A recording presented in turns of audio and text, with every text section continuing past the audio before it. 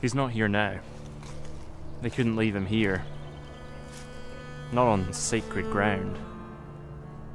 Not after all he'd said. And done.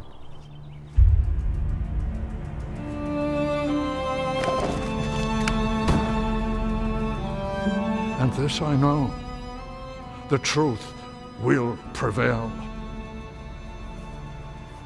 His name was John Wycliffe. He is called the Morning Star.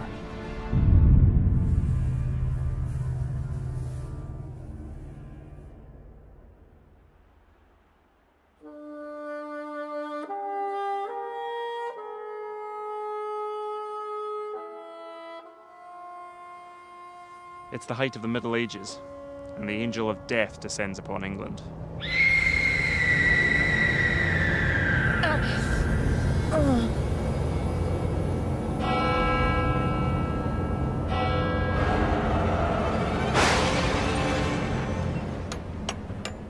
Black Death devastated Christendom, wiping out huge swathes of the population. Even the survivors suffered a massive psychological impact. Why had God chosen them to survive? Why had God sent the plague at all? What sin was he punishing? A wave of apocalypticism swept over Christianity, a conviction that the end times are at hand. People think that it's judgment from God for sinful lives. The world wasn't right, and God needed to send this message. And so it was a time of seeking and a time of many uh, pre established trends, patterns, social structures being thrown quite a bit up in the air. Uh, and therefore, a great time for academics to come in with new ideas.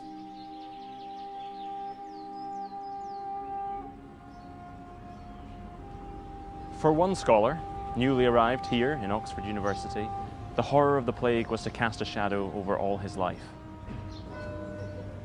John Wycliffe probably came to Oxford as a 15 year old, as many people entering Oxford would have been about 14 or 15. We think that he is from a village called Wycliffe in the North Riding of Yorkshire, so we think he's a northern guy. He probably came from the minor nobility and from a family of some means that could support him. So he arrives in Oxford eager to make a name for himself and to do well. John Wycliffe was a student of remarkable ability, with a lifelong love of books and learning. He may have been brought up in Yorkshire, but Oxford soon became his home. Here the great questions of life and death were grappled with, and Wycliffe threw himself into the scholarly debates with gusto. As he progressed from a student to a lecturer, Wycliffe began to find his voice. He soon earned himself a reputation as a formidable debater and astute philosopher, but it was his passion that made him popular among the students. Is it not then proved as utter foolishness to say that there is nothing more than the elements? That if these fleshy eyes cannot see, if these hands of blood and bone cannot touch, it is not real? and so we have proved our thesis. As the perfect defines the imperfect, so truth defines substance. And the corollary is obvious. Seek the truth. Nothing is more important than the truth. Seek it and find it. Wycliffe quickly became an established figure among the academics of Oxford. Here, at prestigious Balliol College, he was even briefly appointed as master. He was interested in philosophy, which of course was also theology, which was also politics. It was all joined up. He was the foremost philosopher theologian in Oxford, which at that time had eclipsed Paris as the foremost intellectual centre in Europe.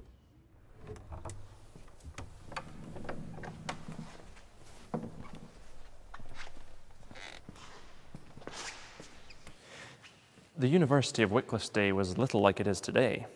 For one thing, all the students and masters were, supposedly, celibate men. For another, they were inseparably intertwined with the church. There wasn't really any understanding of sacred and secular. The church was involved in everything, and the church was large. The church owned a third of Europe at the time. If you're a bishop, you are like a baron or an earl. A king would have seen his first role under God as a Christian ruler of a Christian people. Kings come and go, but the church remains. The university is bound to the church, particularly in the theology faculty. They were all priests, of course, and they were in many cases high level priests. Wycliffe had no hesitation in joining the church and becoming a priest. The salary was good, the opportunities were rich, and for an ambitious scholar, it was the natural next step.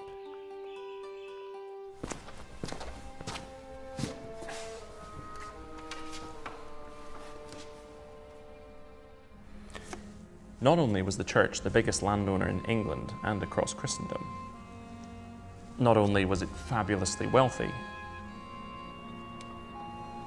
not only did cardinals rival kings for sheer naked power, but the church held another trump card. Churchmen, whether monks or priests, were seen as super Christians. They were treated with reverence by the ordinary people who marveled at their superior relationship with heaven. In Wycliffe's day, there was this general consensus God was the sovereign Lord of all. He had delegated dominion to the Pope, and if we want to reach heaven, we must live under the dominion of the papacy. Not being a Christian is not an option, it's a part of the society you can't even think of yourself as non Christian. A lot of that, though, was about culture, about external conformity, rather than about personal faith. And so people would have seen their local parish priest as the gateway to God. Ordained as a priest, Wycliffe now embarked on a degree in theology, the queen of the sciences, the study of God.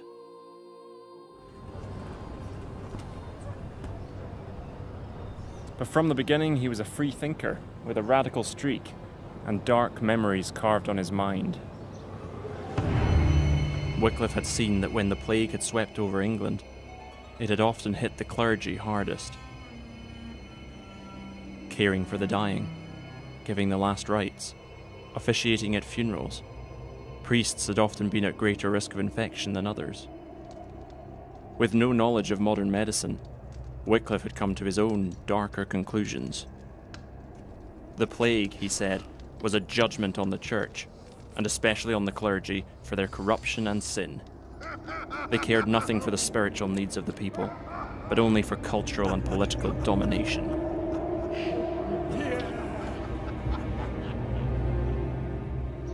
In some ways, it's really easy to point out the decadence, the potential corruption. You know, they come around asking for taxes. You have to give money to these friars all the time who are just begging for the money. Like, go get a job. And some of the fiercest critics of this kind of corruption, if you will, were churchmen themselves. The church was giving no pastoral care. It was far too involved in politics. It didn't have the ordinary believer's salvation at its core.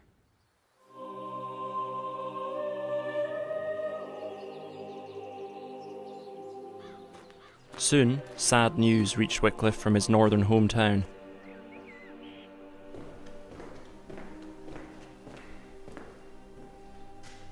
His parents were dead. It is said they are buried right here in the floor of the parish church.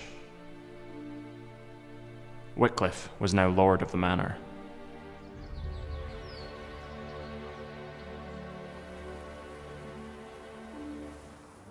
It was a minor role in feudal England, responsible for a few farms and a huddle of houses, but it brought Wycliffe to the attention of his overlord, John of Gaunt.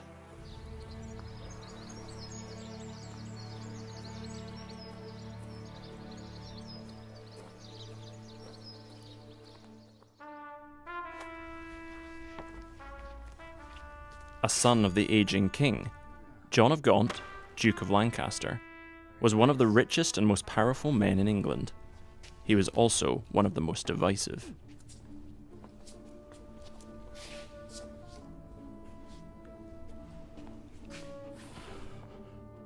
So, another village in the hands of the church. Oh, my lord. Oh, this is my spare whole- me your legal quibbles. Wherever I turn, England is in the hands of bishops, priests, and monks, and their greed knows no bounds. My lord, I agree. In the words of our Lord, non potestus Deus avere et memone, one cannot serve God and money. The plague made it clear to me. The church has lost its way. You are an unusual priest. Well, it's no use carping on the sidelines. You too are part of the church. If your church is lost, as you say it is, then it will need someone to set it back on the right road. Either you fix the problem, John of Wycliffe, or you are the problem. My lord, I'm only a philosopher. Go philosophize then. England needs more than philosophers.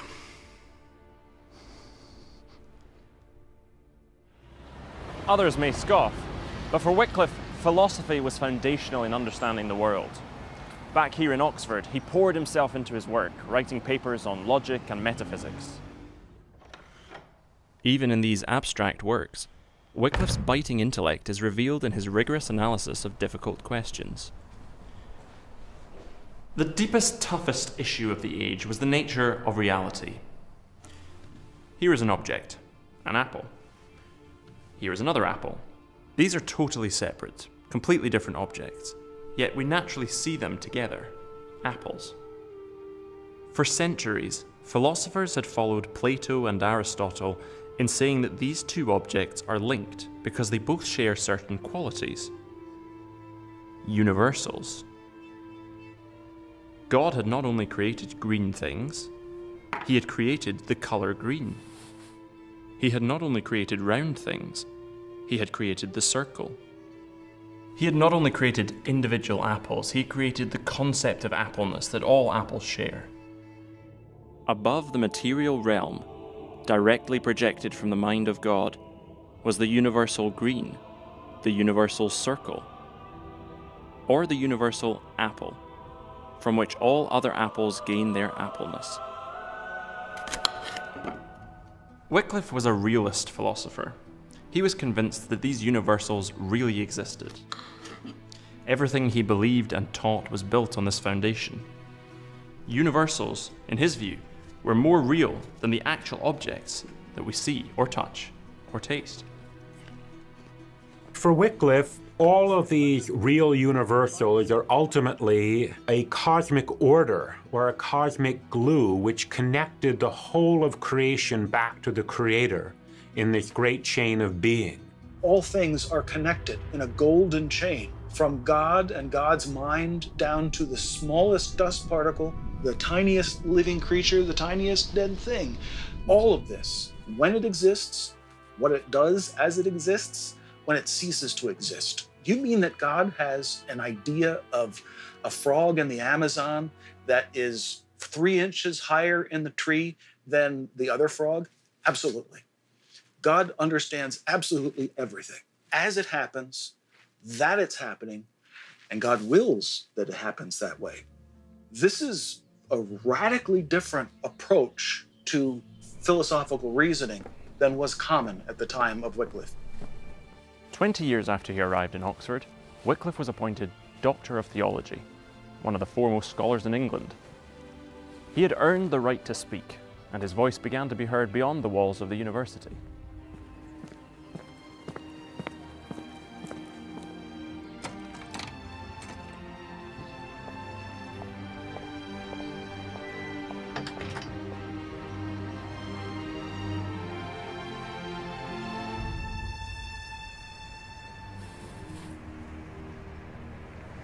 Academic wranglings were considered harmless enough, until Wycliffe began to investigate one particularly sensitive universal power.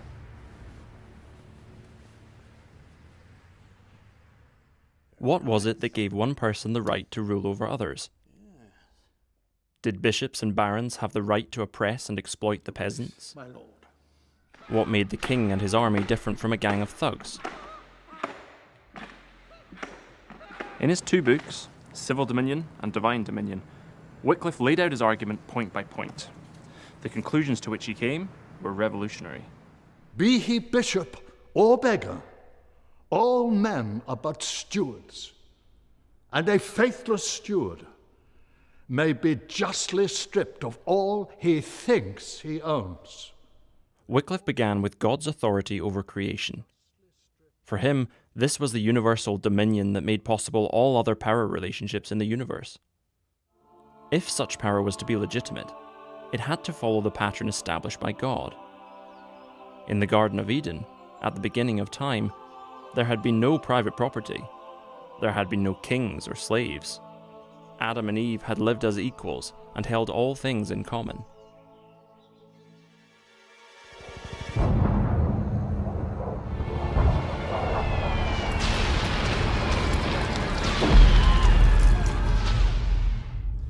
Wycliffe saw the whole civil structure, the king, the lords, law and order, as a temporary fix ordained by God because of sin. But the church was called to champion a higher path. The church should pattern itself on the original perfection of the Garden of Eden. It should not have political power. It should not have private property. If you look at the model of the early Christian church, there's no property, there's no wealth. The calling of the church in the world was not to accumulate wealth and prestige and power.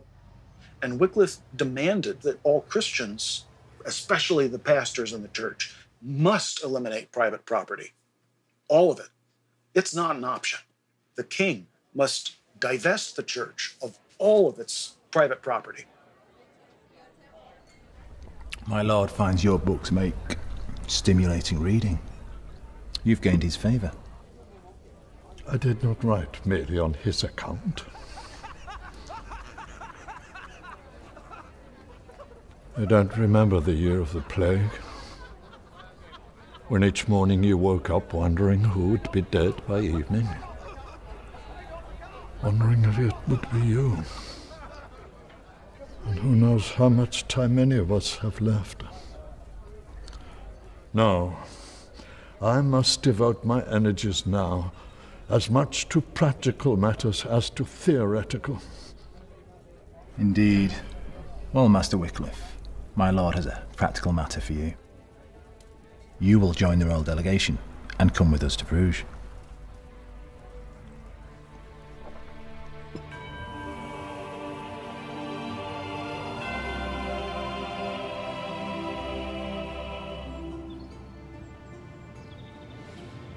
Wycliffe's writings had come at the perfect time, and here, in the city of Bruges, in modern Belgium, his career was about to take off.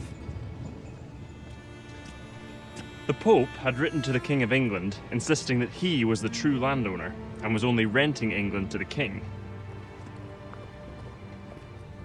The English, he said, had paid neither tax nor rent in the last 30 years and now owed a colossal sum of back payments to the Vatican. Naturally, the English were none too keen on this idea and sent a delegation to negotiate with the Pope's agents. With his radical ideas on wealth and power, Wycliffe was hired as one of their key advocates.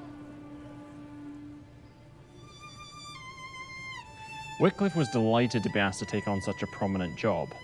These were the moments that could change a man's life and see him propelled upwards to the precipitous pinnacles of power. To whom does England belong? To the king? To the pope? To the people? No, it belongs to Jesus Christ. And why then does the pope levy taxes? For the glory of Christ? No, it's to wage his sordid war. The pope behaves not as the vicar of Christ, but as a common cutpurse.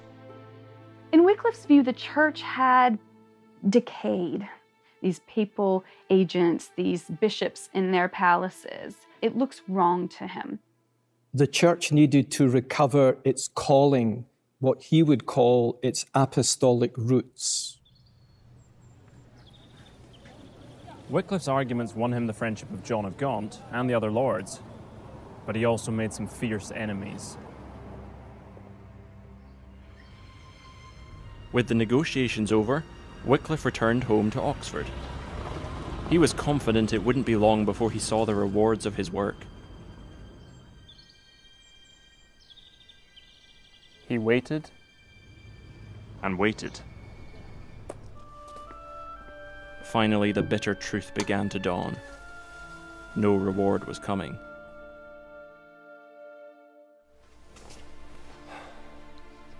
Other delegates had been promoted, some had been made bishops, but Wycliffe had not climbed a single rung. I do think Wycliffe felt bitter about his lack of preferment and becomes a bit disillusioned, I think, after that.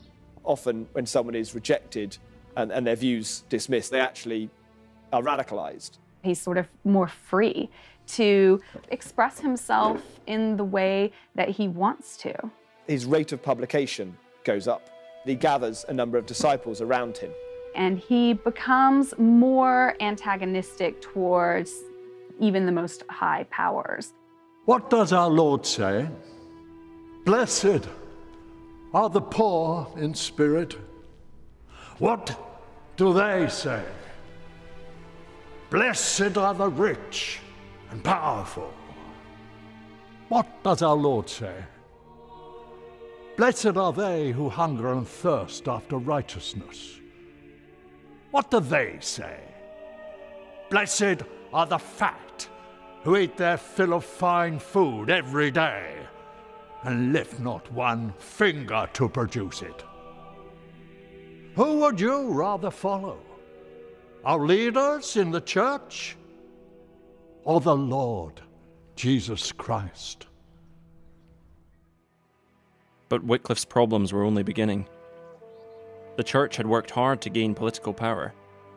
Now they had it, and they were able to use it. William Courtenay, Bishop of London, had once been a colleague of Wycliffe's at Oxford University. Now he demanded Wycliffe appear before a disciplinary inquiry.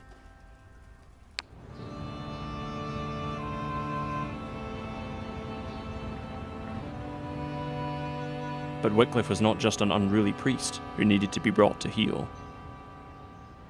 In a twist of irony, his idealistic campaign against wealth and power had landed him some wealthy, powerful friends, nobles who hungered lustily for the riches of the church. To them, Wycliffe turned for help. When the date of his trial came, John of Gaunt came too.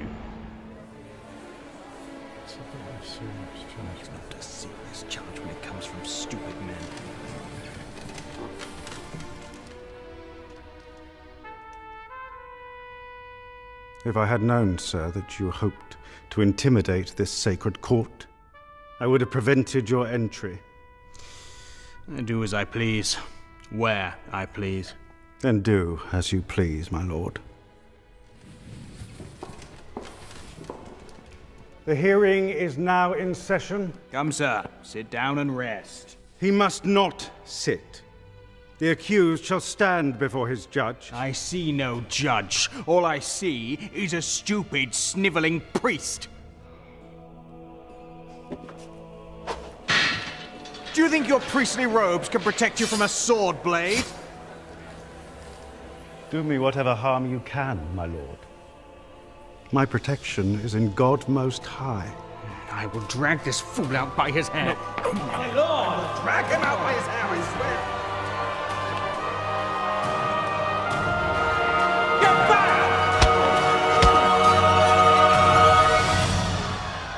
Grace, we must away. It had seemed such a good idea at the time. Fight politics with politics. Wycliffe had hoped that with such a show of strength, he could look his opponents in the eye. But it all backfired. The hearing broke up in chaos and riots erupted all over London. Houses were broken into, and one man was even killed. Do not lay this upon my head. How was I to know? How was I to know? John of Gaunt's very active in trying to gain power and wrest that power away from the church. He had a gift for making enemies. He was a constant enemy of the Bishop of London. And there was a feather in John's cap to have this brilliant churchman making his arguments for him. Many people would have seen it as a kind of partnership of convenience. And arguably, I think it probably was. Wycliffe managed to escape, getting back to Oxford. But they said he had been saved by the devil. After the debacle in London, any explanation Wycliffe might offer would fall on deaf ears. Many church leaders now saw him as no better than the greedy barons he allied with, a naive pawn being used to undermine the whole English church. Rather than achieving victory in London, Wycliffe had only made the church angry, and they had ways of exacting their revenge.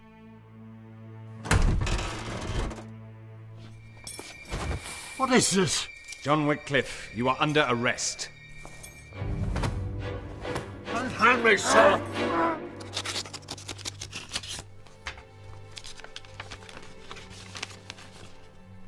Letters had arrived in England addressed to the King, the Archbishop, and the University. Letters from the Pope. Letters demanding the immediate arrest and imprisonment of John Wycliffe on the charge of heresy.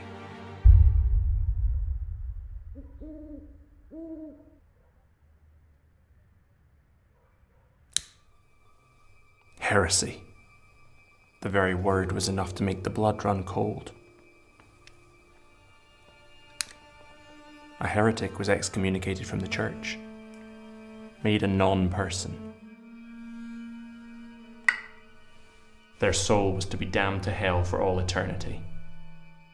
Today, we tend to think of heresy as something that shows independence and intellectual capacity, and uh, I don't mind being considered a heretic. Well, I assure you, in the 14th century, being considered a heretic meant that you were not going to heaven. It was as dangerous to the welfare of individual Christians as Black Death was to the health of individual Christians. Physical disease is bad enough. You know, your body will die, but that is nothing compared to the gravity of being tormented in hell and losing your soul for eternity. Locked in a cell in Oxford, awaiting word of his trial, Wycliffe was able to do nothing more than pray and think. Heretics denied that Jesus was God, or claimed that there was no such thing as sin. In comparison to these, what had Wycliffe said? That the Pope had too much political power? That the church should live in poverty? That righteous kings could challenge corrupt bishops? Were these ideas really heresy? William Courtenay thought so. The Bishop of London had not forgotten the insults he had received, and was determined that this time Wycliffe would get everything that was coming to him. He detests authority and claims that the church should be ripped apart and handed to the peasants coin by coin. I'll leave the cheap oratory to the friars. Wycliffe is in prison. What harm can he do? Sit down. Try the wine. Please tell me you do not intend to ignore the greatest threat the devil has raised in England these last hundred years. Tell me! Do not presume to lecture me, Courtenay. I am both Archbishop and Chancellor. I eclipse you in the sight of God and of man. Your Grace, if you neglect your holy office in this hour, your name will be forever cursed.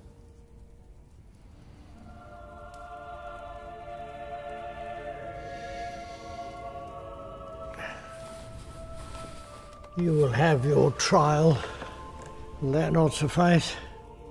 This is not the time for laxity, Your Grace. You have but one choice. Wycliffe must burn.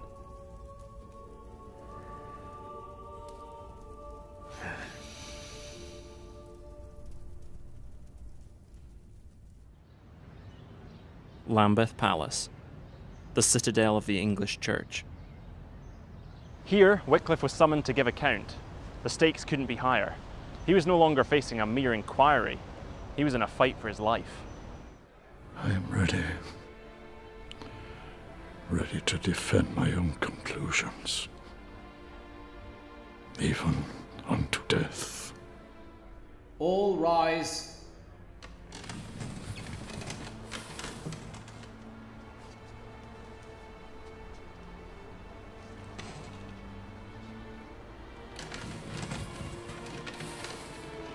Proceed. All rise.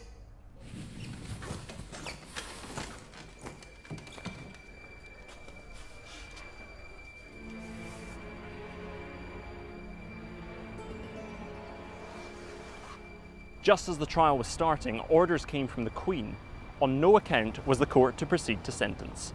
Wycliffe's political friends had come to his rescue once again. Wycliffe couldn't be sentenced, but the court forbade him ever again to criticise the wealth of the church. He was free, but the experience was a watershed moment. If Wycliffe could be accused of heresy over what was essentially a political issue, how could anyone trust the church with spiritual issues? In the years following Wycliffe's trial, he starts to look at aspects of the church which he hadn't considered before. Sometimes the simpler laity were being taken advantage of, often for monetary gain. People were being given false hope of forgiveness in return for money. And he was violently opposed to it because it actually distanced people from God and uh, reinforced superstitions. Priests, bishops, and even the Pope were getting increasingly wealthy based on the naive and mistaken hopes of the people. The church hierarchy had destroyed his career and sought his death. Now, fueled by frustration and resentment, feeling he had little left to lose, Wycliffe saw himself at war with the corrupted church and was ready to fight with everything he had. Wycliffe's prime target quickly became the friars, wandering preachers that he marked down as hypocrites. They take vows of poverty and live in luxury. They call themselves preachers, but only entertain with rhymes and fables. They follow not the law of Christ, but the rules of their founders, of St. Francis or Dominic. They obey men rather than God, and think themselves most pleasing in the sight of heaven. Oh, pity them, these benighted men, who do not know the depths of their own darkness.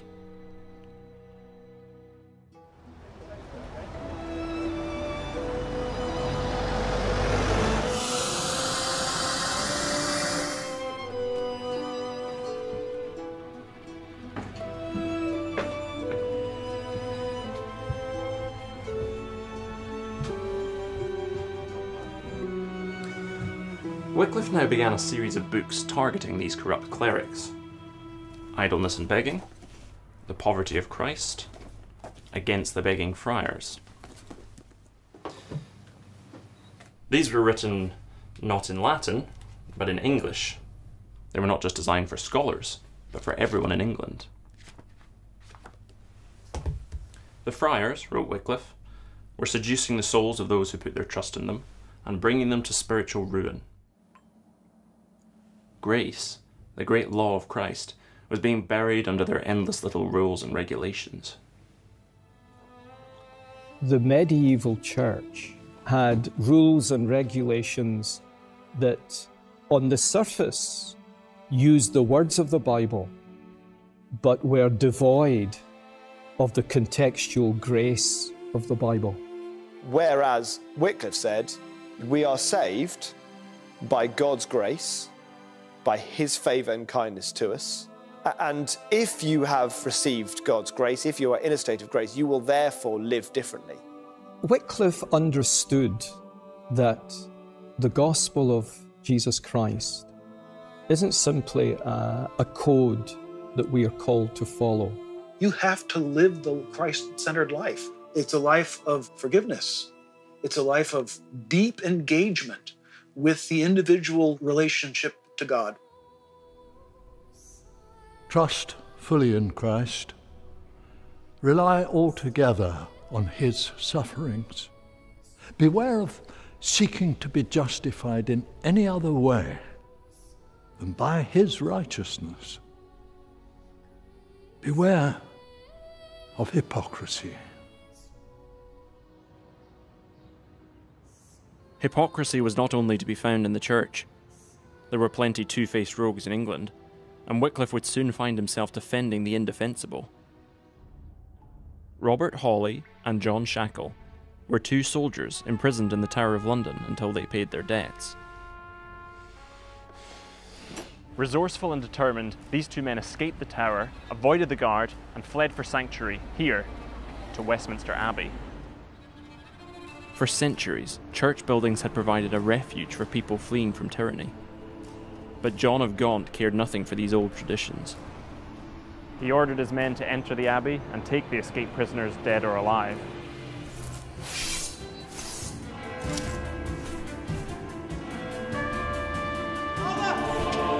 Sanctuary!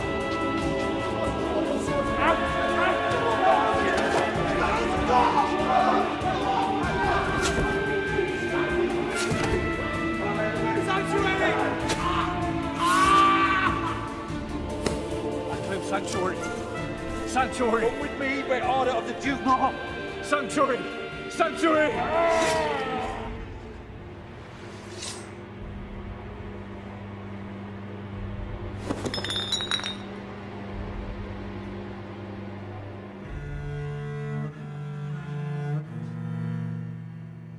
The church was furious. This flagrant disregard for the sacred was blasphemy itself. The Archbishop excommunicated the soldiers involved, and when Parliament next met, he demanded that John of Gaunt be held responsible. The matter went to court, and Gaunt hired Wycliffe to speak on his behalf. Perhaps he imagined that Wycliffe, chastened after his trial, might speak with diplomacy and balance. He was quite wrong. Trained in the cut and thrust of intellectual debate, Wycliffe tore into the church. Was it not shameful for them to harbour criminals in their walls under the pretext of some imagined sanctuary? Were they not turning the house of God into the proverbial den of thieves? The Duke was mortified. Morally and legally, he was on the back foot, and the last thing he needed was Wycliffe throwing intellectual grenades around Parliament. Backtracking furiously, forced into concessions left and right, he would never trust or protect Wycliffe again. Despite the loss of his patron, Wycliffe was determined to keep going, to show the world the corruption, hypocrisy, and perversion of the Church. But then, something happened on the continent to confirm all his worst ideas. Two rival popes emerged, and Christendom split down the middle. As the conflict between these two popes escalated into all out war, it became clear that something had gone very wrong in the church. The problem was that the same College of Cardinals had elected two different men. Neither of them are morally upstanding human beings. I'm, I'm sorry, if, if that makes people upset, look, one of the popes, Robert of Geneva, his job before he became Clement VII, he was a mercenary who had massacred entire towns. This is not a good man. Wycliffe, like many others, saw the schism as yet a further blow to the authority of the papacy as an institution. So Wycliffe was by no means original in his criticism of the papacy, but he certainly was scripturally grounded in a way that many other papal critics were not. Meanwhile, here in Oxford, Wycliffe was getting down to some serious study. Despite his anger at the church, he wasn't interested in merely flinging dirt. There were plenty of rogues happy to do that. Wycliffe wanted to understand where the church had gone wrong, and how to put it right. Perhaps the most obvious place to start was at the top, with the two rival popes. Both men call the other a usurper. Both men call the other an antichrist. Could not both men be right? Could not two popes equal one antichrist? Jesus Christ was God made man. The Pope, said Wycliffe, was man behaving as God. In his book, The Power of the Pope, Wycliffe was clear Antichrist ruled the church.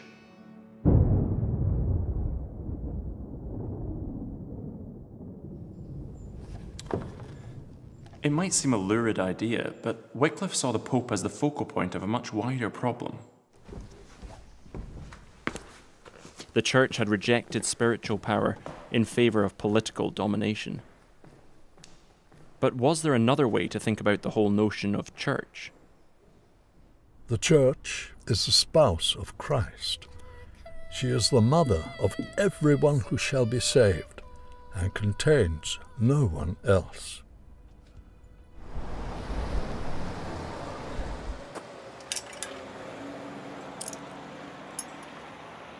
Outside the church, there can be no salvation. This was a basic idea of the Christian faith.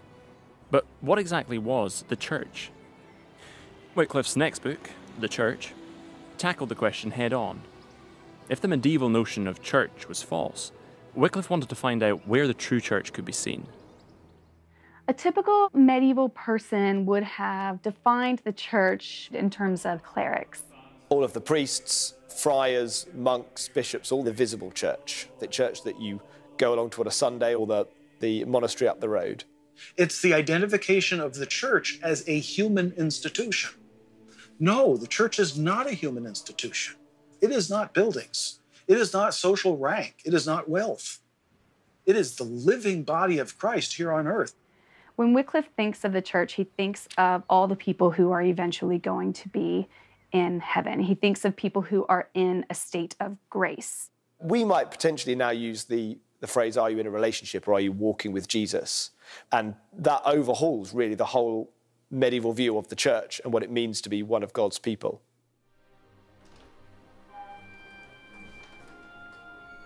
But Wycliffe's investigation was not over. If the church was not founded on the clergy, the pope, and the traditions of the centuries, then where? The answer, when he came to it, was obvious.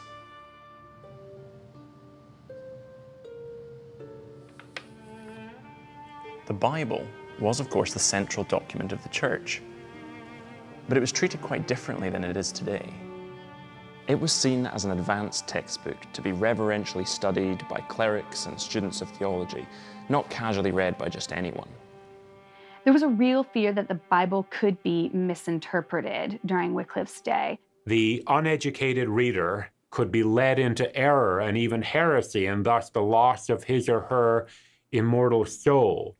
Why would you give the revelation from God to someone who couldn't read or didn't understand the true meaning and the different senses behind the Bible? Uh, it was considered a dangerous thing to do. And so, whilst people would have had many ideas that were Christian, they would have been very muddled up with superstition, um, with old wives' tales, with anything else that was going on. I know they are only peasants, but you expect them to know something. I was preaching from the simplest stories of the Bible, but for all they knew, could have been Plato. But where would the people learn these stories? From the friars? Pictures on the walls of churches? Old wives' tales at bedtime?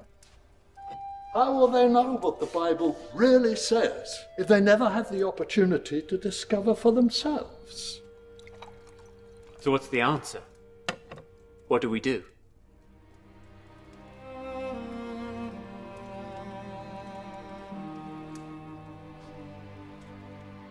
This was Wycliffe's response to the problem the truth of sacred scripture. The church, he said, and indeed the whole Christian faith, could only be founded on the Word of God, on the Bible. For John Wycliffe, the Bible stands above every authority, and if it's not in the Bible, then the church needs to radically reshape its life in the light of Holy Scripture. In 32 detailed chapters, Wycliffe methodically works to his conclusions. The Bible is superior to all human thought. It is from God. It is true. It is the foundation for all society. And most especially, all Christians have a right and duty to read it.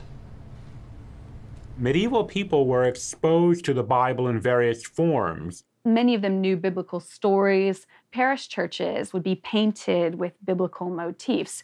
But the Bible wasn't really their avenue towards a deeper relationship with God. Wycliffe said, Our salvation is found in the Christ of the Bible. And it's the Jesus of the Bible we need to get back to. Any one of these three books would have been controversial. Taken together, they represented a radically new approach to religion, and the name of John Wycliffe began to be heard across England. The church leaders fumed at the newfound fame of their adversary, until exciting news reached their ears. Wycliffe had suddenly fallen ill and was now close to death. Surely this was the hand of God at work. All the church needed to do now was convince Wycliffe to back down. You still have time. Repent, recant, and be received back into the arms of Holy Mother Church. Please. Help me out.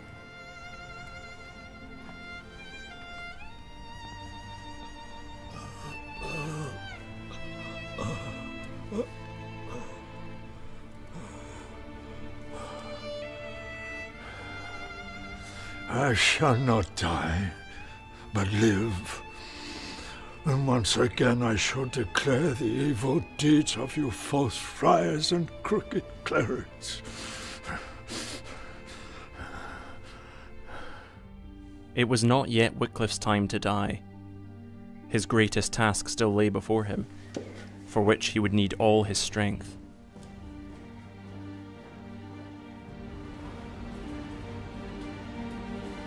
Wycliffe knew that as one man there was a limit to what he could do. But as a teacher of students, he could equip and inspire others to carry his gospel out of Oxford and into all England. Do not forget, the highest service that man may attain to on earth is to preach the word of God. The church has failed us. They care not for our souls and spirits, but for coin and comfort. Do the priests comfort the sick? Do the friars preach the love of Christ? No. No. They go from the sermon to the alehouse, from the altar to the gaming table. You want to know what I think? Forget the church. Come to Christ.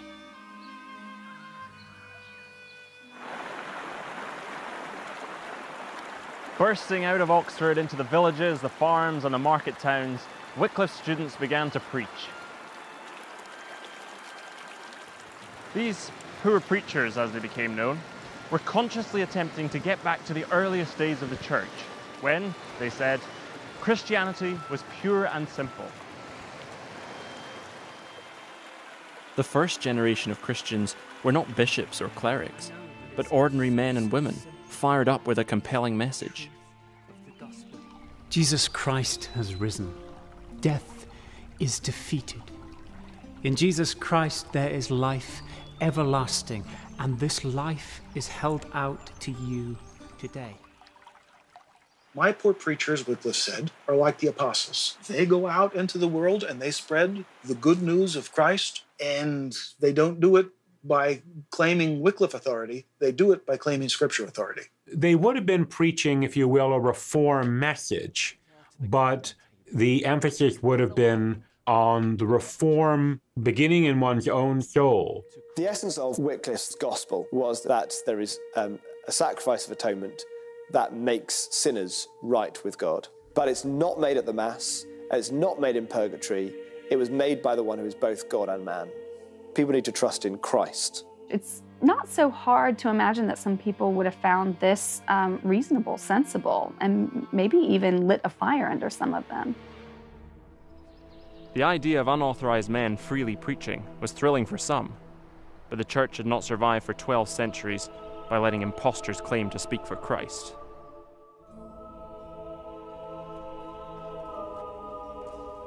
Bishop Courtenay certainly was not going to sit back and watch Wycliffe's men wander the countryside undermining his church at every turn, preaching who knew what nonsense. He pushed through a law that any unlicensed preacher was to be arrested and locked up.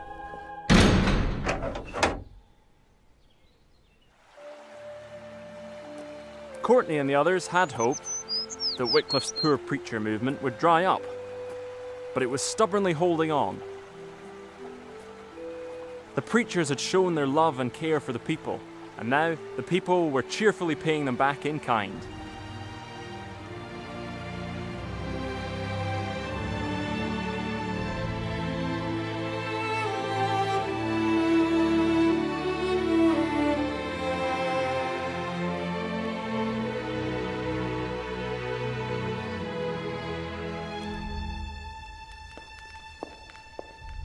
Told it was urgent, Your Grace.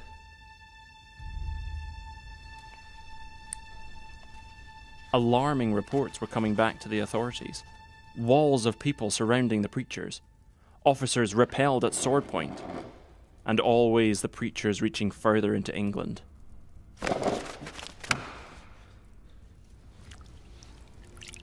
It's not enough. For every one we lock away, another springs up. Hell is let loose upon England. Courtenay, you are going to ruin another perfectly lovely afternoon. Now, before you burst a blood vessel, let me introduce you to someone.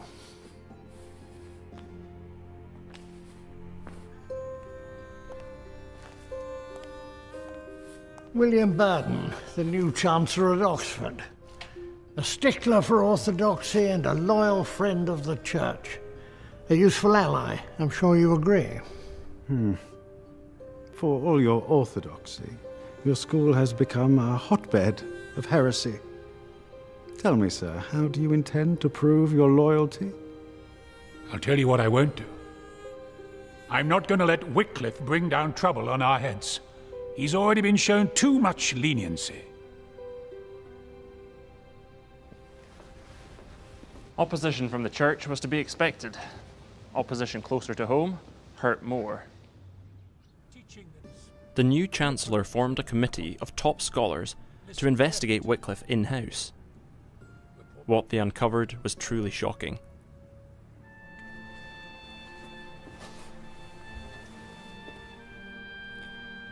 The medieval church believed that at the moment the priest said the words of consecration, the bread and wine of the Mass were transformed into the literal body and blood of Jesus. It was the central ritual of Christianity, but Wycliffe said it was all wrong.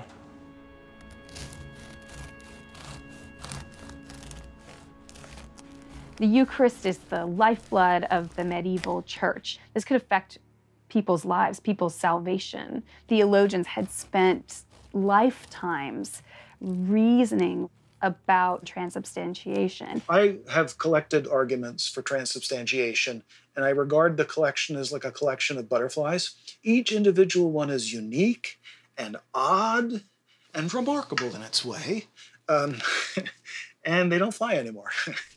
For John Wycliffe, his problems with transubstantiation are at two levels. Number one, and most significantly, he doesn't find it in the Bible. you look in vain to find that doctrine in the Bible. But also philosophically. He said, No, that, that is just nonsense. That is, is inflicting such illogic upon the logic of Christ. And Wycliffe believed, therefore, that the bread remained substantially, and yet it underwent a kind of spiritual transformation into Christ's body. So if you had asked Wycliffe, is Christ's body really present? He would have said, yes, it is spiritually present.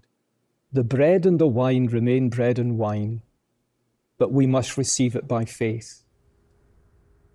This was Wycliffe's most controversial idea yet. The Mass wasn't an abstract idea. It was the holiest mystery of religion that every medieval Christian loved dearly. Wycliffe's last political support melted away, and the newly hostile university took action. By the authority of the Chancellor, all those who teach or hear the following doctrines will be subject to imprisonment. Furthermore, They hadn't used his name on their proclamation. They didn't have to. Everybody knew who was meant. After more than 30 years in Oxford, Wycliffe had to leave.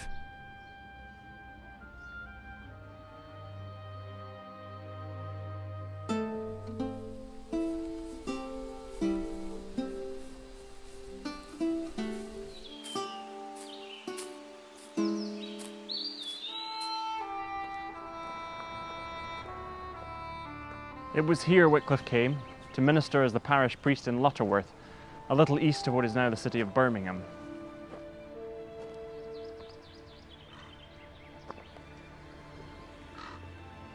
Angry and resentful, he found himself banished from his home, his friends, and his place of work. If his life had become a war against the church, he had decidedly lost. There were certainly those in his circle whose anger drove them on to ever bloodier aggression. A revolution in Jesus' name. Have you listened to nothing I have taught? Of course I have listened. All the predestined are at once kings and priests. Your words, sir. Well, if we are priests, what need have we for the clerics? If we are kings, what need have we of King Richard? That is treason, and not my meaning. God did not create human beings to simply be oppressed and exploited by kings and popes.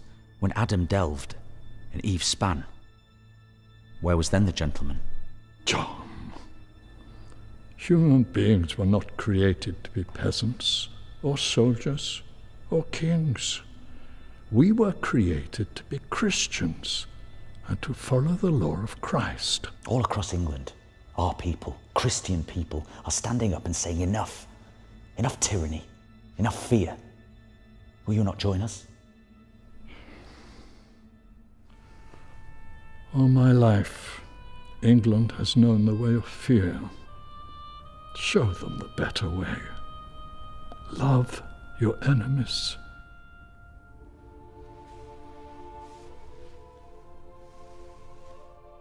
We won't forget you, Doctor. It was you who showed us the way.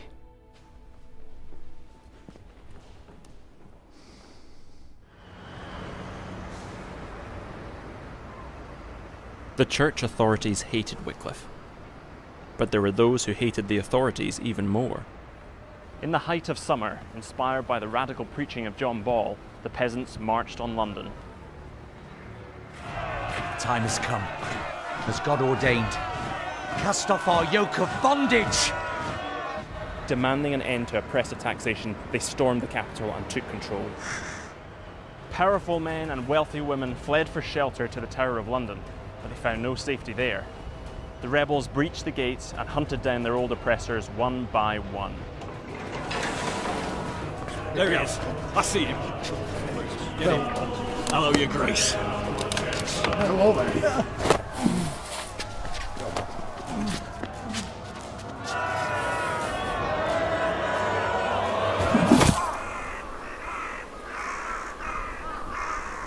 The head of the Archbishop of Canterbury, with other abusive noblemen, was paraded round the town and impaled on a spike here on Tower Bridge. The revolt could not last.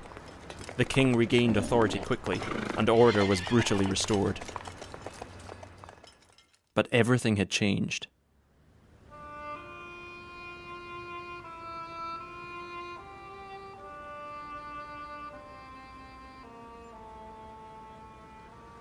Across all England, there was a backlash against any talk of reform, and the new Archbishop of Canterbury saw his chance.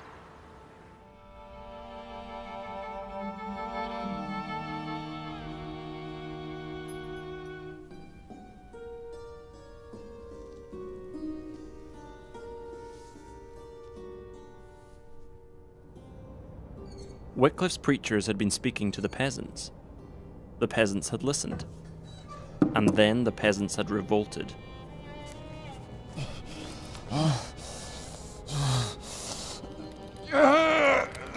yes, yes, it must have been him. I did not hear you, villain. Was he the inspiration for your rebellion? Ah, yes. Yes, it was he. John Wycliffe.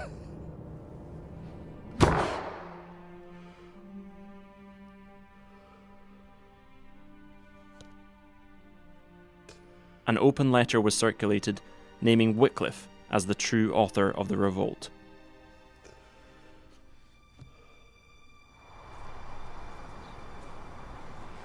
It was an unlikely charge. In truth, Wycliffe hated violence and had even preached against such normal ideas as war and capital punishment. But the allegations alone were enough. Among the nobility, Wycliffe was now a scandal and disgrace.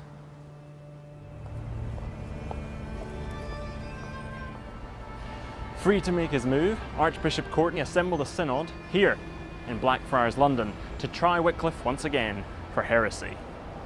Wycliffe's errors were truly fundamental this time, and Courtenay was sure he could get a conviction. The Eucharist heads the list, but there are other uh, propositions on that list as well. Wycliffe challenges a number of normal practices in most churches, particularly around icons. He was quite firmly and at times violently against anything that seemed to come in between um, God and people.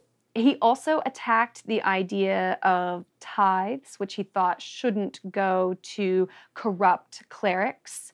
So Wycliffe thought that uh, any man could be holy as long as he lived a life of faith. These are really radical ideas, and they have the potential to upend not just the church, but of course society. For some days, the synod sat in judgment. But just as they were coming to the point of pronouncing the verdict, London was shaken by a rare earthquake.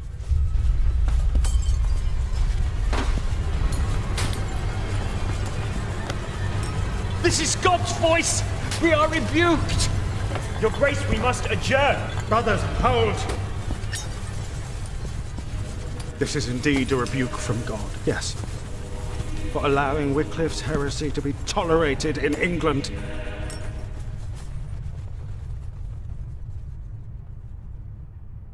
See how the earth is now at peace.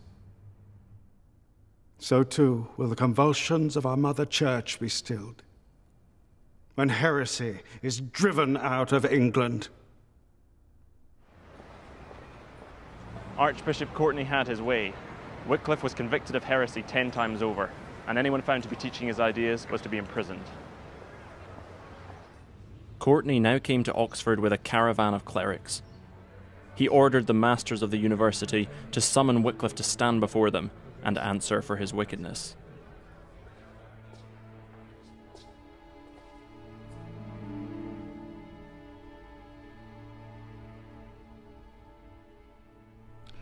Since Jesus Christ shed his blood to free his church, I demand that freedom.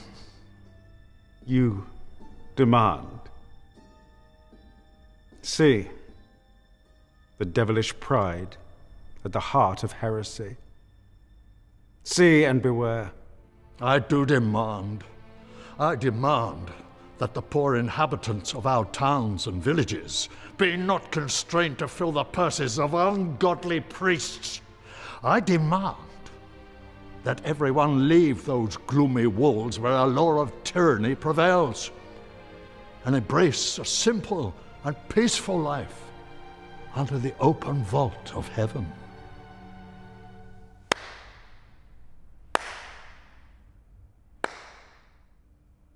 Bravo. Now hear what the Pope demands.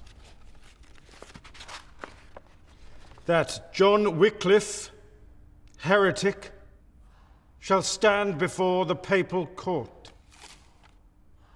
Though there should be 100 popes, and all the friars alive be transformed to cardinals, still I would not trust them unless they stand on Holy Scripture. As judged according to your own heresies? The Bible is not for your private interpretation, much less of unschooled farm boys. God appointed us, His church, to teach His word with divine authority. Your Grace, the Bible is its own authority. It is for the government of the people, by the people, and for the people. I will obey God rather than men. All the doctors of the church have had one voice, and you alone defy them! You think you contend with me alone? An old man on the brink of the grave? No. You contend with truth itself. And this I know the truth will prevail. Wycliffe! Stay where you are!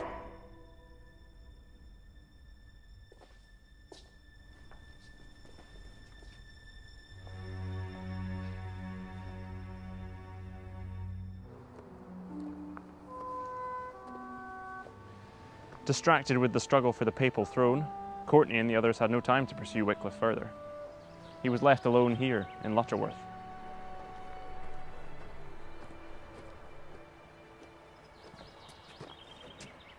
His old age, however, was neither peaceful nor tranquil, and he had to watch as Oxford was purged of his ideas and his followers. Rejected by the university and the church, he might well have despaired, wallowing in fury at the injustice of the system. But somewhere along the way, Wycliffe's indignation and outrage had given way to a much deeper motivation. It had begun as a furious campaign to expose a corrupted religion. Now, despite his hardship, Wycliffe had a yearning to share the great spiritual truths he had discovered with the people around him.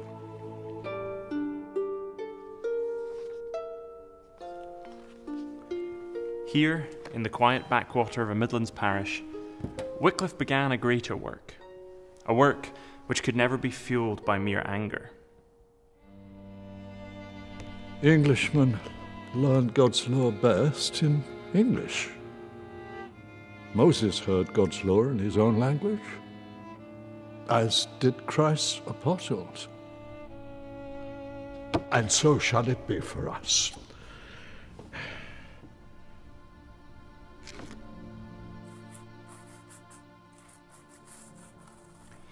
It was an idea Wycliffe had been toying with for some time.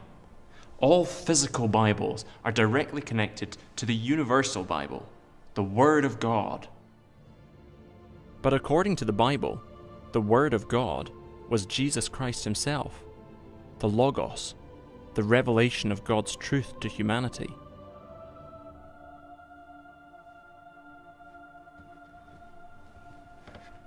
All actual Bibles were therefore directly connected with Jesus. They were projections of his truth and revelation into the material world. The language of the text mattered no more than the shape of the paper. What did matter was that people were able to read, hear, and understand the Bible for themselves. And so was born this the Wycliffe Bible. The Bible for Wycliffe is a different kind of thing in creation. Scripture comes from the mouth of God. So if you want everybody to be saved, they need to hear God speak.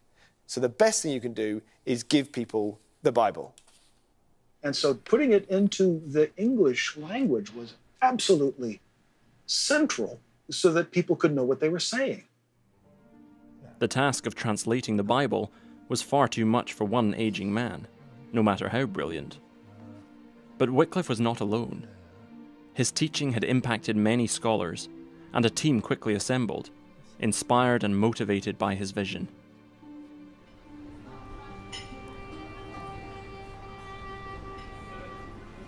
It's difficult to say how much of the Bible Wycliffe was directly involved in translating, or how much was completed during his lifetime. But it is certain that on its arrival, the English Bible caused a sensation. These were the days before the printing press, and Wycliffe's full handwritten Bible would be phenomenally expensive, not to mention rather heavy. Nevertheless, there was huge interest. From the greatest to the least, the people treasured whatever portion of the Bible they could get. We see now by a mirror in darkness, but then face to face. Now I know in part, but then I shall know as I am known. And now dwelleth faith, hope, charity, these three. But the most of these is charity. For many years, the people had lived in religious terror. They knew they were sinners, and God's fearsome judgment awaited them after death. When the plague had struck, some had even punished themselves in the hopes of persuading God that they had suffered enough. The approach of Wycliffe and his disciples was quite different. God was not a furious tyrant to be placated, but a gracious Father who had rescued his children from the hands of the devil and now called them to walk with him in faith, hope, and love.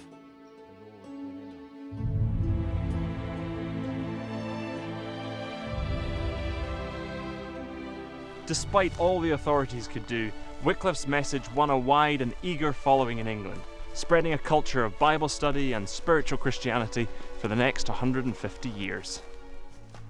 That is what animates John Wycliffe. He seeks to recover for the church and for the world the significance of the written word of God. How does God want his people to live? We don't need to devise it or divine it. We need to go to the scriptures to find out, to do justly, to love mercy, and to walk humbly before their God.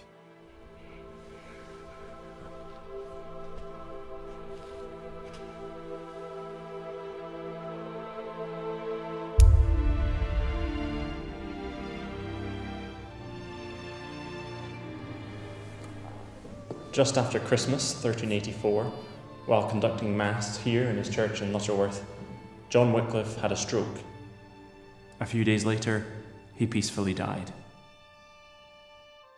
In this thing is the perfect love of God with us. And we have trust in the day of doom.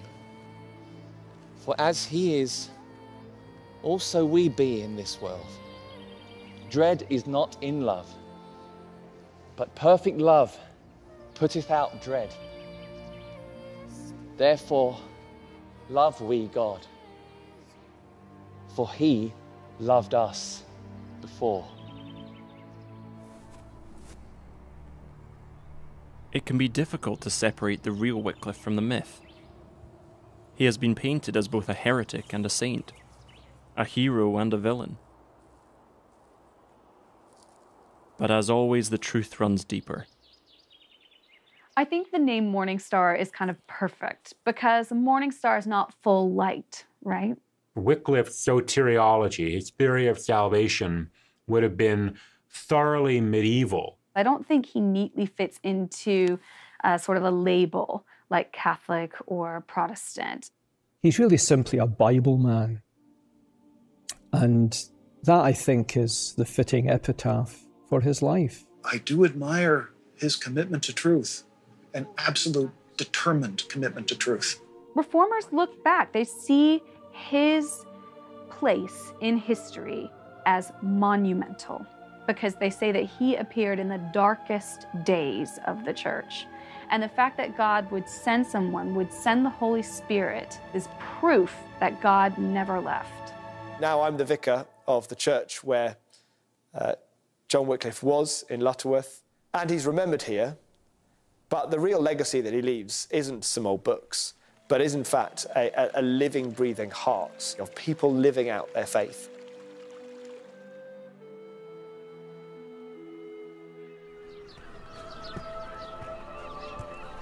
In 1428, over 40 years later, the church dug up Wycliffe's bones and, with great ceremony, burned them for heresy.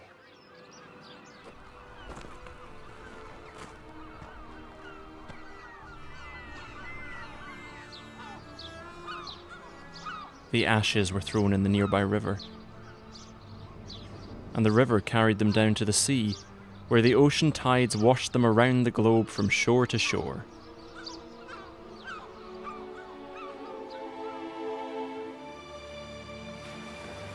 And today, Wycliffe's teachings are shared and believed in every country of the world.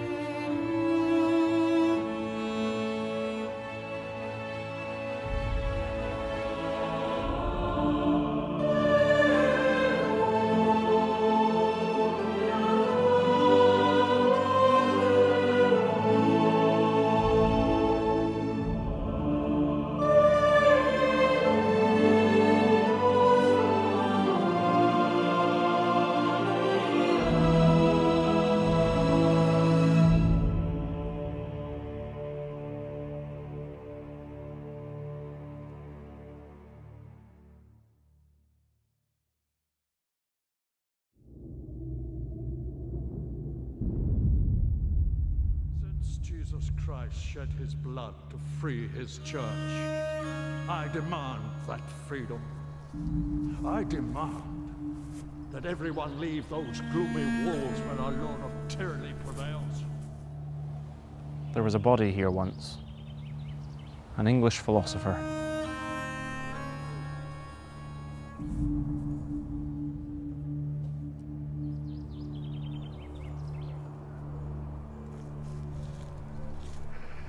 He's not here now. They couldn't leave him here. Not on sacred ground. Not after all he'd said. And done.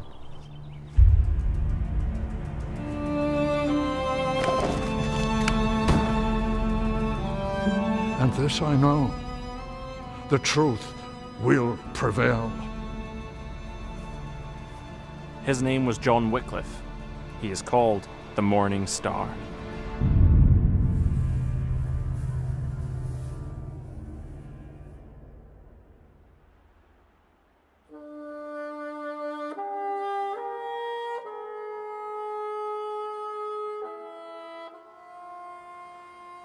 It's the height of the Middle Ages, and the angel of death descends upon England. The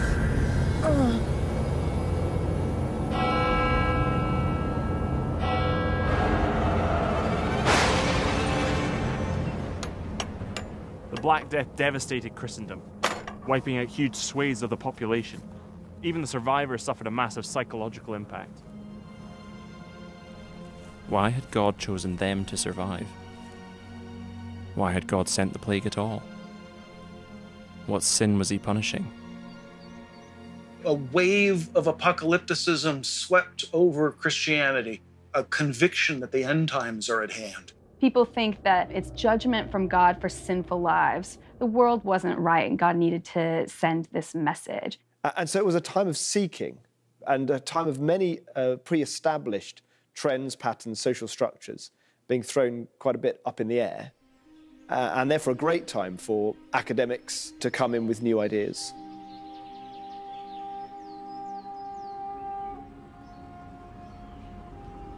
For one scholar, newly arrived here in Oxford University, the horror of the plague was to cast a shadow over all his life. John Wycliffe probably came to Oxford as a 15 year old, as many people entering Oxford would have been about 14 or 15. We think that he is from a village called Wycliffe in the North Riding of Yorkshire, so we think he's a northern guy. He probably came from the minor nobility and from a family of some means that could support him. So he arrives in Oxford eager to make a name for himself and to do well. John Wycliffe was a student of remarkable ability, with a lifelong love of books and learning. He may have been brought up in Yorkshire, but Oxford soon became his home. Here the great questions of life and death were grappled with, and Wycliffe threw himself into the scholarly debates with gusto. As he progressed from a student to a lecturer, Wycliffe began to find his voice. He soon earned himself a reputation as a formidable debater and astute philosopher, but it was his passion that made him popular among the students. Is it not then proved as utter foolishness to say that there is nothing more than the elements? That if these fleshy eyes cannot see, if these hands of blood and bone cannot touch, it is not real? And so, we have proved our thesis. As the perfect defines the imperfect, so truth defines substance. And the corollary is obvious. Seek the truth. Nothing is more important than the truth. Seek it and find it. Wycliffe quickly became an established figure among the academics of Oxford. Here, at prestigious Balliol College, he was even briefly appointed as master. He was interested in philosophy, which of course was also theology, which was also politics. It was all joined up. He was the foremost philosopher theologian in Oxford, which at that time had eclipsed Paris as the foremost intellectual centre in Europe.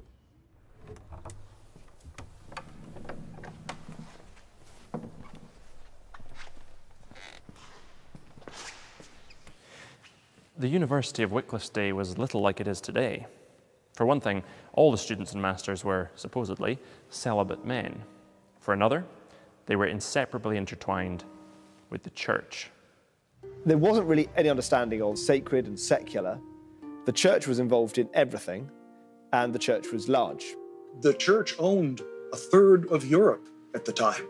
If you're a bishop, you are like a baron or an earl. A king would have seen his first role under God as a Christian ruler of a Christian people. Kings come and go, but the church remains. The university is bound to the church, particularly in the theology faculty. They were all priests, of course, and they were in many cases high level priests. Wycliffe had no hesitation in joining the church and becoming a priest. The salary was good, the opportunities were rich, and for an ambitious scholar, it was the natural next step.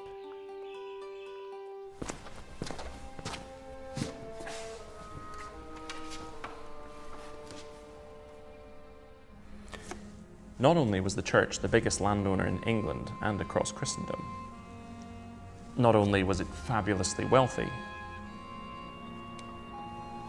Not only did cardinals rival kings for sheer naked power, but the church held another trump card. Churchmen, whether monks or priests, were seen as super Christians. They were treated with reverence by the ordinary people, who marveled at their superior relationship with heaven. In Wycliffe's day, there was this general consensus God was the sovereign Lord of all. He had delegated dominion to the Pope, and if we want to reach heaven, we must live under the dominion of the papacy. Not being a Christian is not an option, it's a part of the society. You can't even think of yourself as non Christian. A lot of that, though, was about culture, about external conformity, rather than about personal faith. And so people would have seen their local parish priest as the gateway to God. Ordained as a priest, Wycliffe now embarked on a degree in theology, the queen of the sciences, the study of God.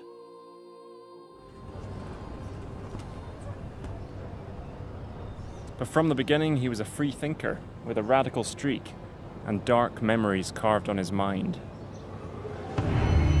Wycliffe had seen that when the plague had swept over England, it had often hit the clergy hardest.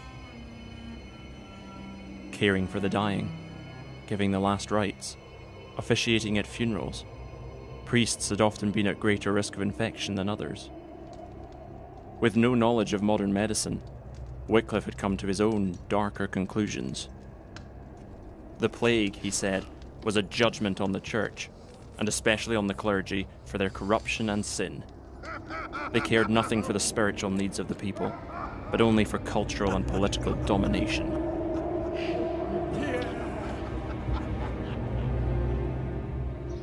In some ways, it's really easy to point out the decadence, the potential corruption. You know, they come around asking for taxes. You have to give money to these friars all the time who are just begging for the money. Like, go get a job. And some of the fiercest critics of this kind of corruption, if you will, were churchmen themselves. The church was giving no pastoral care. It was far too involved in politics. It didn't have the ordinary believer's salvation at its core.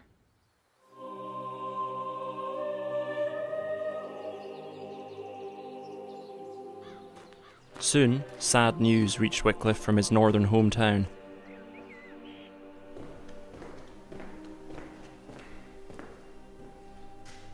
His parents were dead. It is said they are buried right here in the floor of the parish church. Wycliffe was now lord of the manor.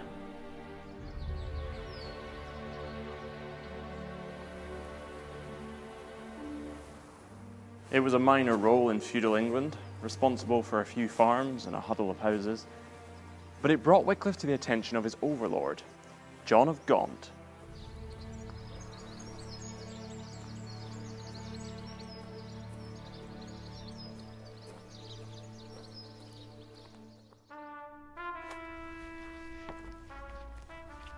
A son of the aging king, John of Gaunt, Duke of Lancaster, was one of the richest and most powerful men in England. He was also one of the most divisive.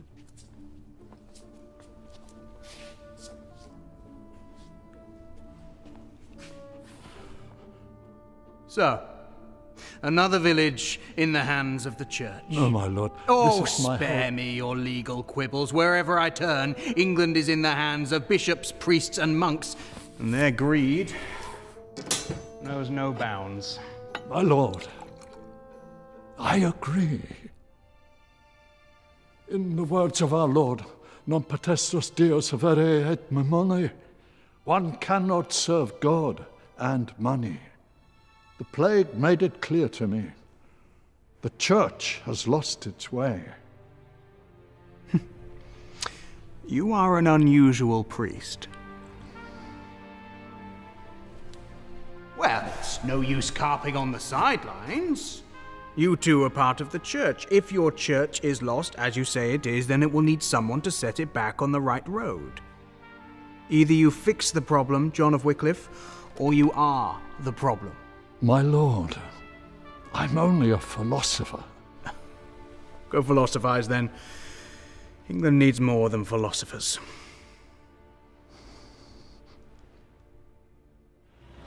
Others may scoff, but for Wycliffe, philosophy was foundational in understanding the world.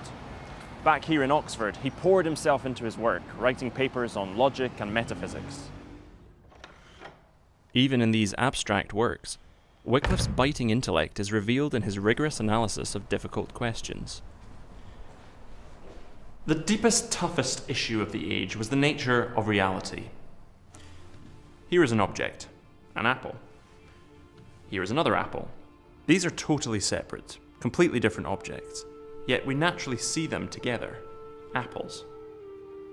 For centuries, philosophers had followed Plato and Aristotle in saying that these two objects are linked because they both share certain qualities.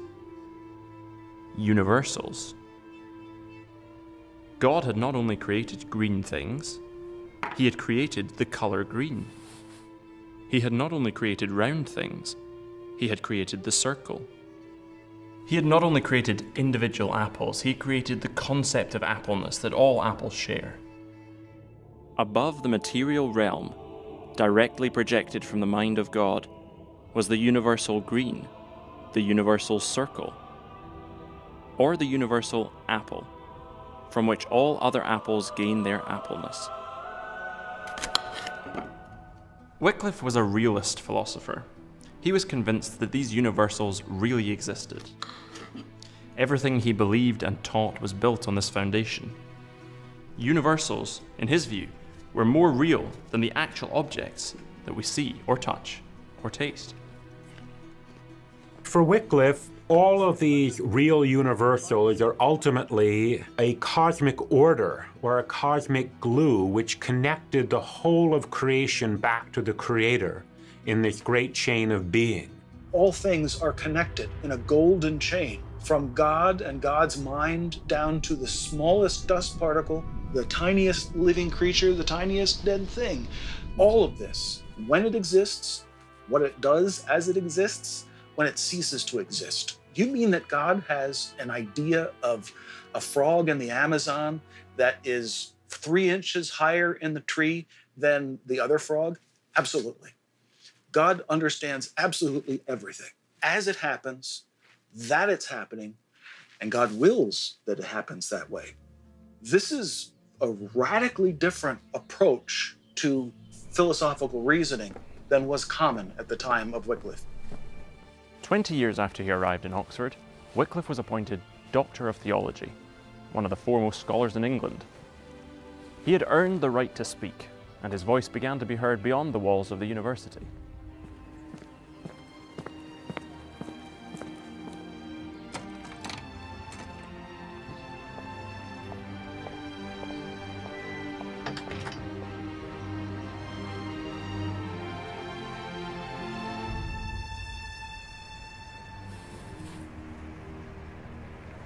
Academic wranglings were considered harmless enough, until Wycliffe began to investigate one particularly sensitive universal power.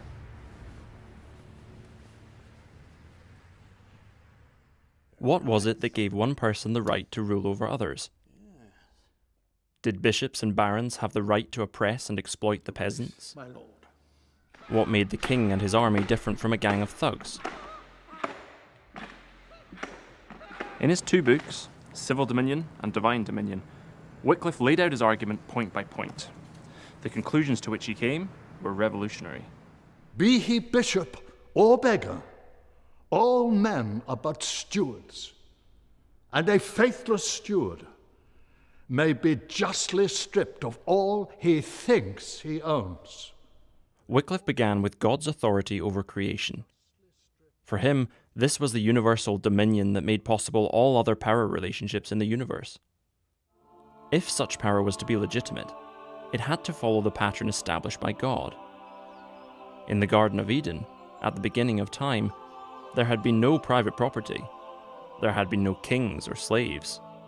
Adam and Eve had lived as equals and held all things in common.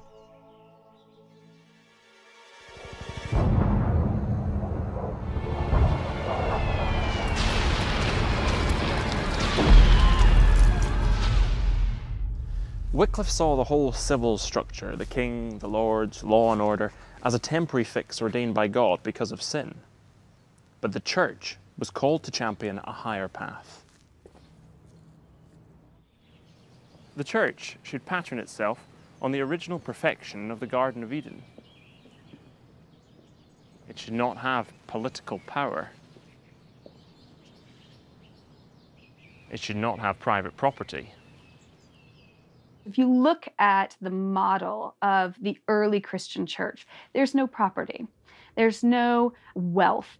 The calling of the church in the world was not to accumulate wealth and prestige and power. And Wycliffe demanded that all Christians, especially the pastors in the church, must eliminate private property.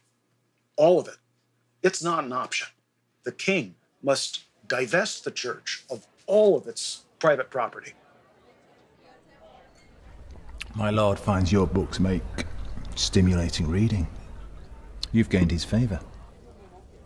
I did not write merely on his account. I don't remember the year of the plague. When each morning you woke up wondering who would be dead by evening. Wondering if it would be you. And who knows how much time any of us have left. No, I must devote my energies now as much to practical matters as to theoretical. Indeed. Well, Master Wycliffe, my lord has a practical matter for you. You will join the royal delegation and come with us to Bruges.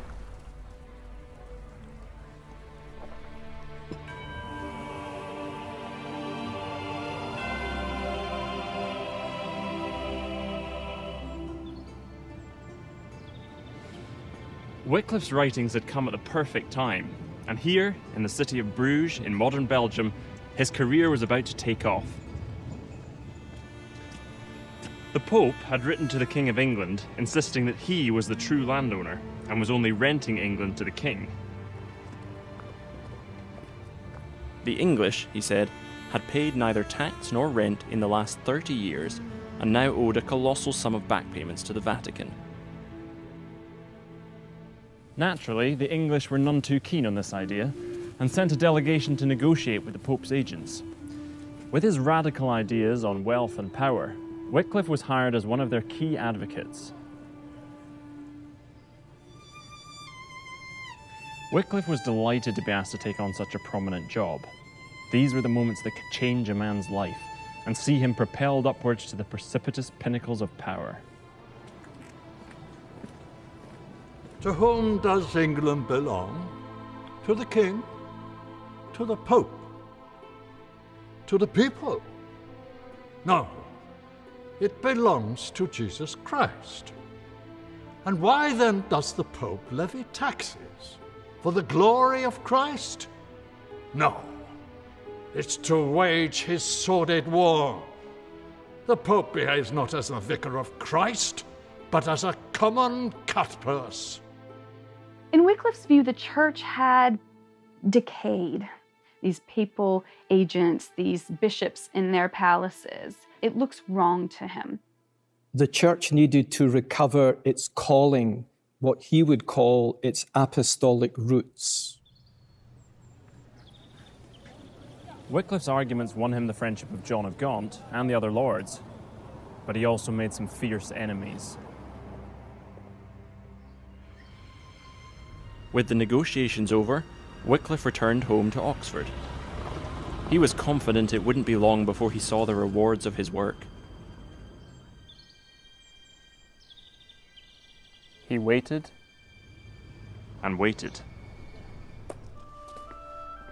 Finally, the bitter truth began to dawn. No reward was coming.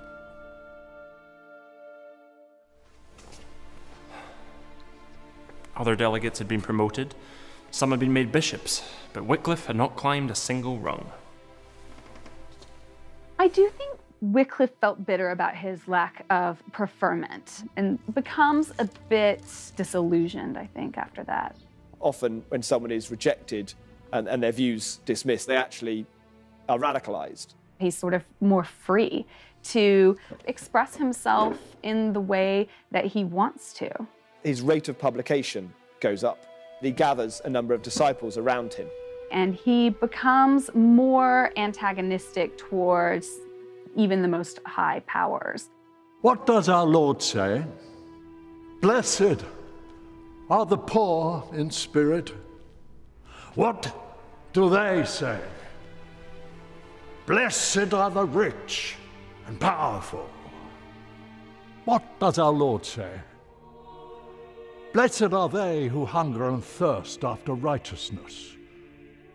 What do they say?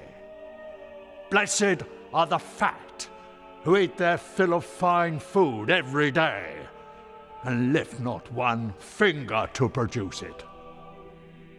Who would you rather follow? Our leaders in the church or the Lord Jesus Christ? But Wycliffe's problems were only beginning. The church had worked hard to gain political power. Now they had it, and they were able to use it. William Courtenay, Bishop of London, had once been a colleague of Wycliffe's at Oxford University. Now he demanded Wycliffe appear before a disciplinary inquiry.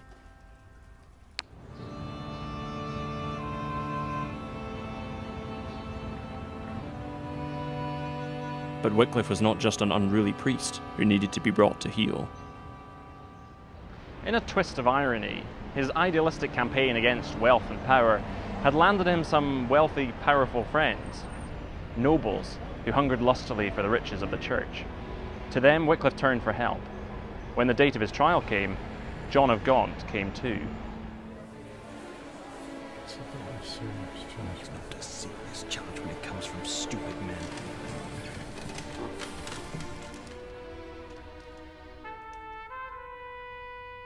If I had known, sir, that you hoped to intimidate this sacred court, I would have prevented your entry. I do as I please, where I please. Then do as you please, my lord. The hearing is now in session. Come, sir, sit down and rest. He must not sit. The accused shall stand before his judge. I see no judge. All I see is a stupid, sniveling priest. Do you think your priestly robes can protect you from a sword blade? Do me whatever harm you can, my lord. My protection is in God Most High. I will drag this fool out by his hair. My lord! Drag him out by his hair,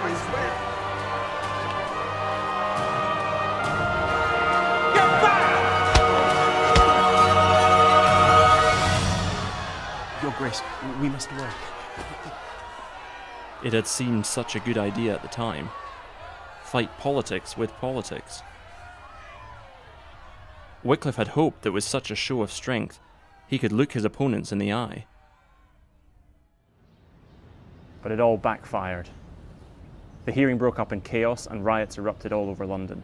Houses were broken into, and one man was even killed. Do not lay this upon my head. How was I to know? How was I to know? John of Gaunt's very active in trying to gain power and wrest that power away from the church.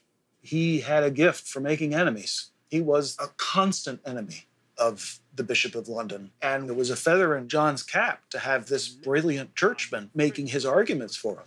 Many people would have seen it as a kind of partnership of convenience. And arguably, I think it probably was. Wycliffe managed to escape, getting back to Oxford. But they said he had been saved by the devil. After the debacle in London, any explanation Wycliffe might offer would fall on deaf ears. Many church leaders now saw him as no better than the greedy barons he allied with, a naive pawn being used to undermine the whole English church. Rather than achieving victory in London, Wycliffe had only made the church angry, and they had ways of exacting their revenge.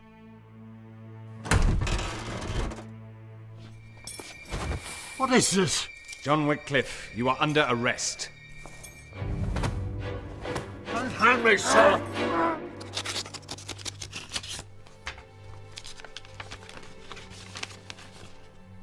Letters had arrived in England addressed to the King, the Archbishop, and the University.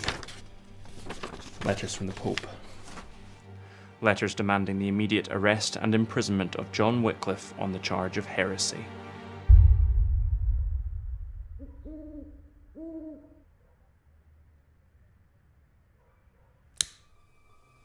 Heresy. The very word was enough to make the blood run cold.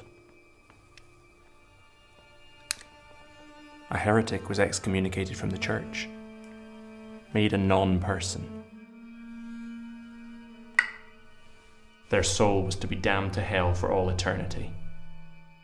Today, we tend to think of heresy as something that shows independence and intellectual capacity, and uh, I don't mind being considered a heretic. Well, I assure you, in the 14th century, being considered a heretic meant that you were not going to heaven. It was as dangerous to the welfare of individual Christians as Black Death was to the health of individual Christians. Physical disease is bad enough. You know, your body will die, but that is nothing compared to the gravity of being tormented in hell and losing your soul for eternity. Locked in a cell in Oxford, awaiting word of his trial, Wycliffe was able to do nothing more than pray and think. Heretics denied that Jesus was God, or claimed that there was no such thing as sin. In comparison to these, what had Wycliffe said? That the Pope had too much political power? That the Church should live in poverty? That righteous kings could challenge corrupt bishops? Were these ideas really heresy?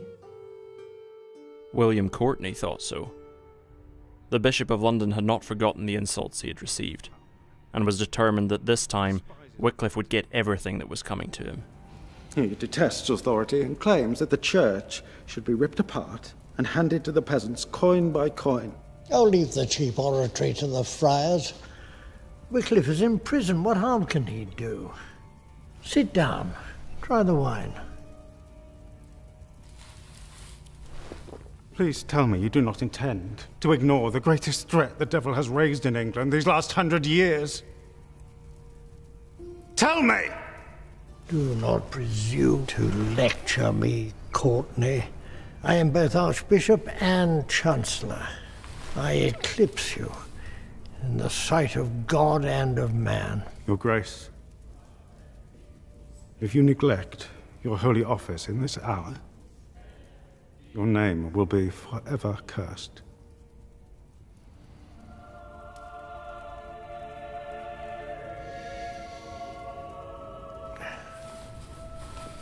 You will have your trial. Will that not suffice? This is not the time for laxity, Your Grace. You have but one choice. Wycliffe must burn.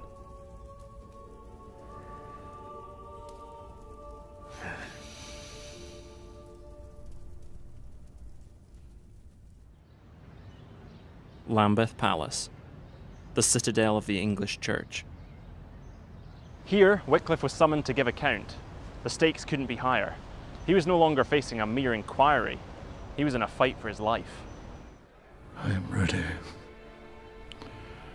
Ready to defend my own conclusions. Even unto death. All rise.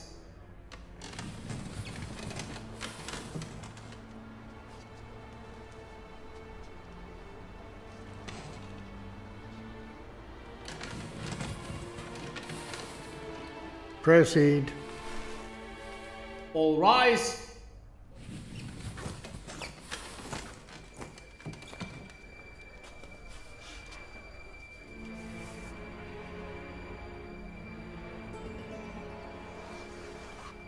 Just as the trial was starting, orders came from the Queen.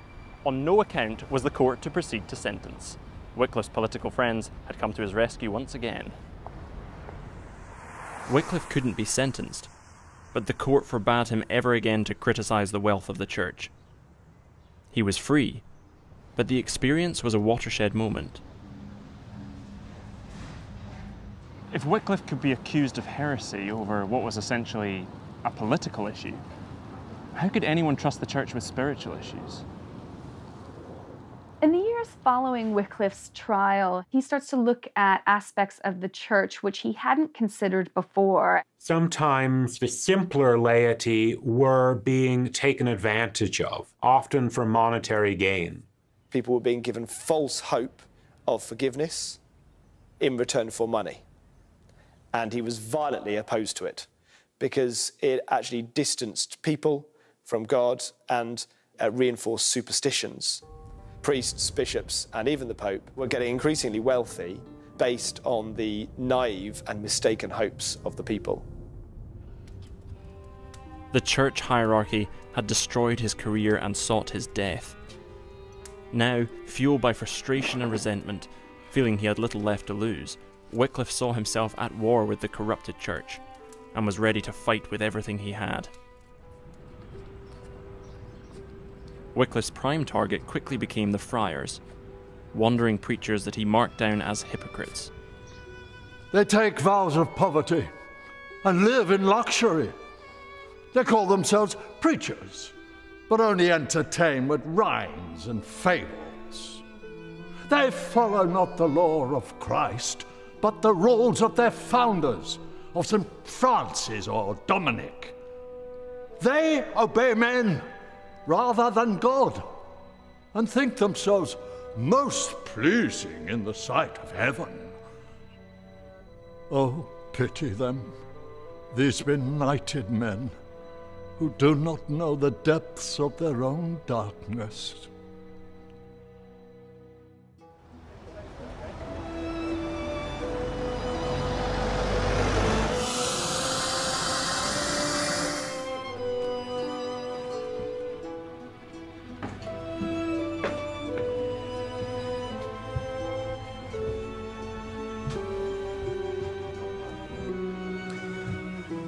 Now began a series of books targeting these corrupt clerics Idleness and Begging, The Poverty of Christ, Against the Begging Friars.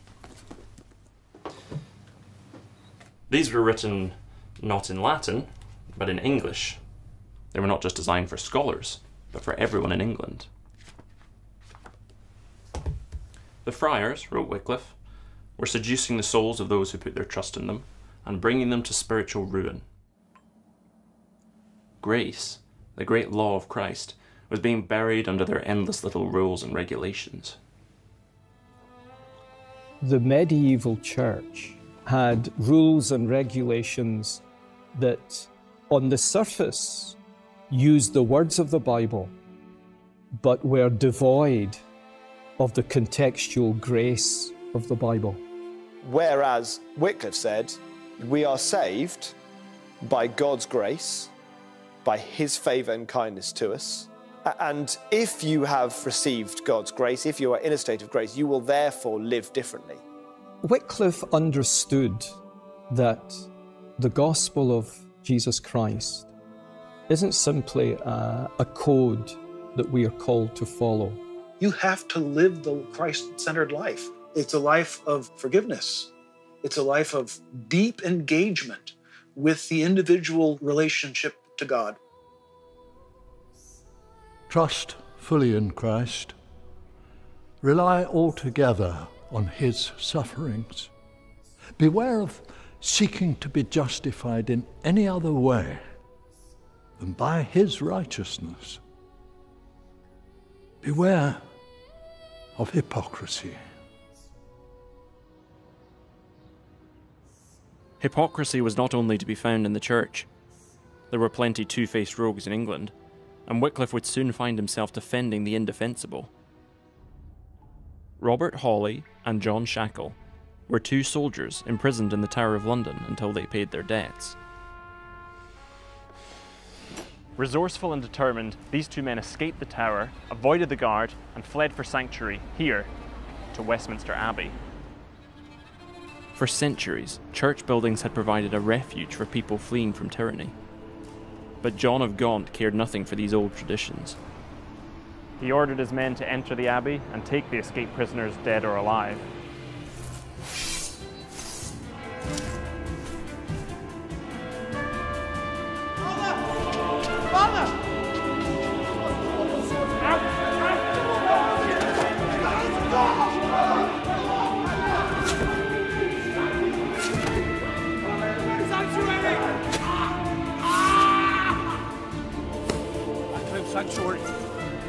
Sanctuary! Come with me by order of the Duke! No!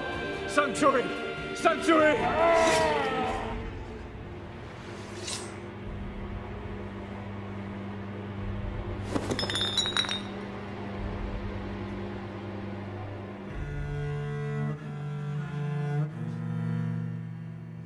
The church was furious. This flagrant disregard for the sacred was blasphemy itself. The Archbishop excommunicated the soldiers involved, and when Parliament next met, he demanded that John of Gaunt be held responsible. The matter went to court, and Gaunt hired Wycliffe to speak on his behalf. Perhaps he imagined that Wycliffe, chastened after his trial, might speak with diplomacy and balance. He was quite wrong. Trained in the cut and thrust of intellectual debate, Wycliffe tore into the church. Was it not shameful for them to harbour criminals in their walls under the pretext of some imagined sanctuary? Were they not turning the house of God into the proverbial den of thieves? The Duke was mortified. Morally and legally, he was on the back foot, and the last thing he needed was Wycliffe throwing intellectual grenades around Parliament. Backtracking furiously, forced into concessions left and right, he would never trust or protect Wycliffe again.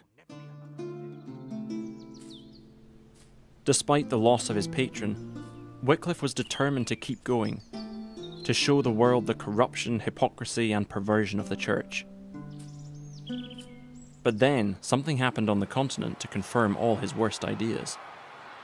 Two rival popes emerged, and Christendom split down the middle.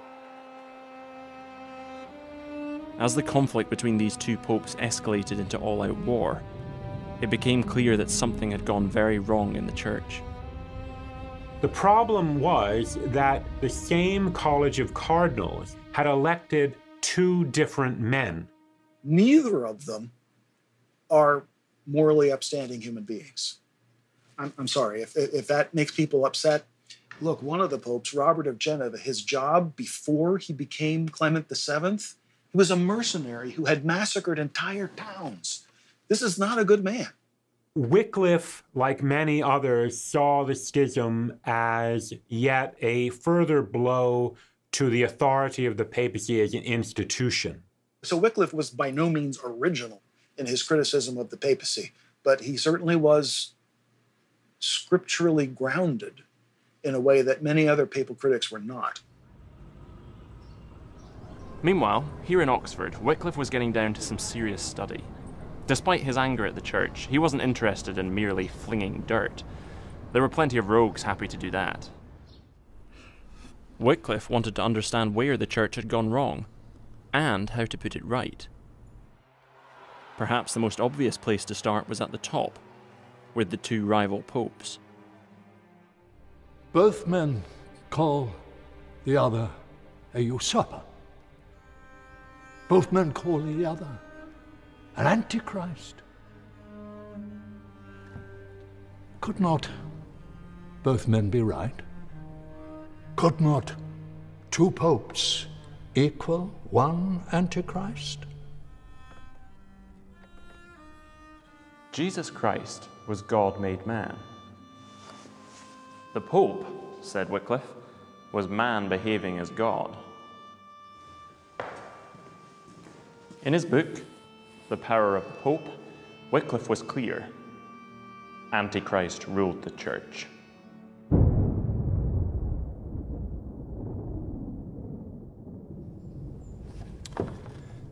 It might seem a lurid idea, but Wycliffe saw the Pope as the focal point of a much wider problem. The Church had rejected spiritual power in favour of political domination.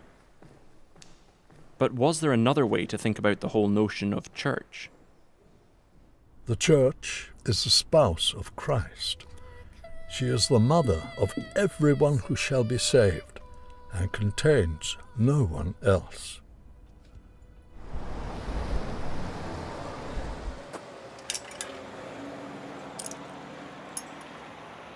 Outside the church, there can be no salvation. This was a basic idea of the Christian faith. But what exactly was the church? Wycliffe's next book, The Church, tackled the question head on. If the medieval notion of church was false, Wycliffe wanted to find out where the true church could be seen. A typical medieval person would have defined the church in terms of clerics. All of the priests, friars, monks, bishops, all the visible church, the church that you go along to on a Sunday or the, the monastery up the road. It's the identification of the church as a human institution. No, the church is not a human institution. It is not buildings. It is not social rank. It is not wealth. It is the living body of Christ here on earth.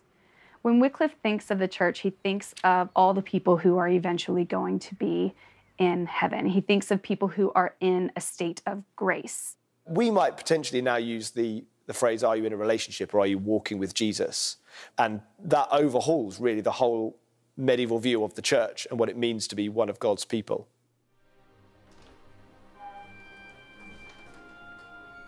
But Wycliffe's investigation was not over. If the church was not founded on the clergy, the pope, and the traditions of the centuries, then where? The answer, when he came to it, was obvious.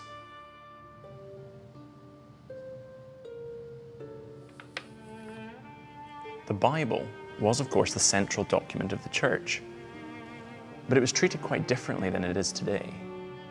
It was seen as an advanced textbook to be reverentially studied by clerics and students of theology, not casually read by just anyone. There was a real fear that the Bible could be misinterpreted during Wycliffe's day. The uneducated reader could be led into error and even heresy, and thus the loss of his or her immortal soul. Why would you give the revelation from God to someone who couldn't read or didn't understand the true meaning and the different senses behind the Bible? Uh, it was considered a dangerous thing to do.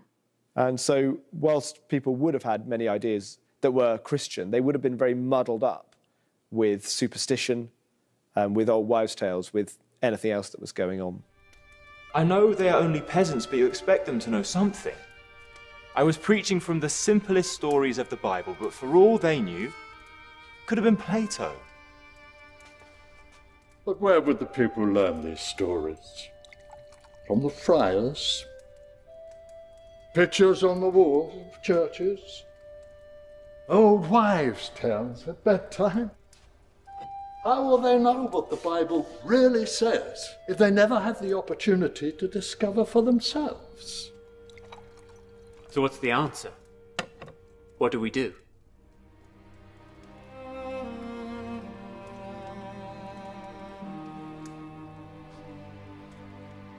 This was Wycliffe's response to the problem the truth of sacred scripture.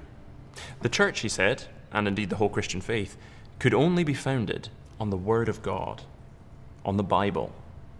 For John Wycliffe, the Bible stands above every authority, and if it's not in the Bible, then the church needs to radically reshape its life in the light of Holy Scripture. In 32 detailed chapters, Wycliffe methodically works to his conclusions. The Bible is superior to all human thought. It is from God. It is true. It is the foundation for all society. And most especially, all Christians have a right and duty to read it. Medieval people were exposed to the Bible in various forms. Many of them knew biblical stories. Parish churches would be painted with biblical motifs. But the Bible wasn't really their avenue towards a deeper relationship with God. Wycliffe said, Our salvation is found in the Christ of the Bible. And it's the Jesus of the Bible we need to get back to. Any one of these three books would have been controversial. Taken together, they represented a radically new approach to religion, and the name of John Wycliffe began to be heard across England. The church leaders fumed at the newfound fame of their adversary, until exciting news reached their ears. Wycliffe had suddenly fallen ill, and was now close to death. Surely this was the hand of God at work. All the church needed to do now was convince Wycliffe to back down. You still have time. Repent, recant, and be received back into the arms of Holy Mother Church. Please. Help me out.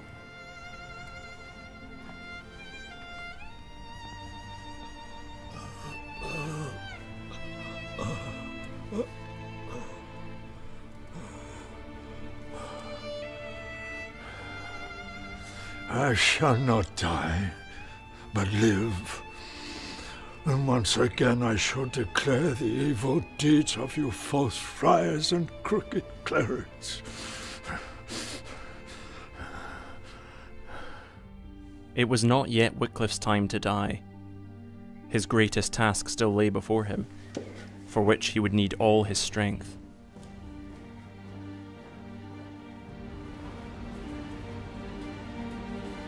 Wycliffe knew that as one man there was a limit to what he could do. But as a teacher of students, he could equip and inspire others to carry his gospel out of Oxford and into all England. Do not forget, the highest service that man may attain to on earth is to preach the word of God. The church has failed us. They care not for our souls and spirits, but for coin and comfort. Do the priests comfort the sick? Do the friars preach the love of Christ? No. No.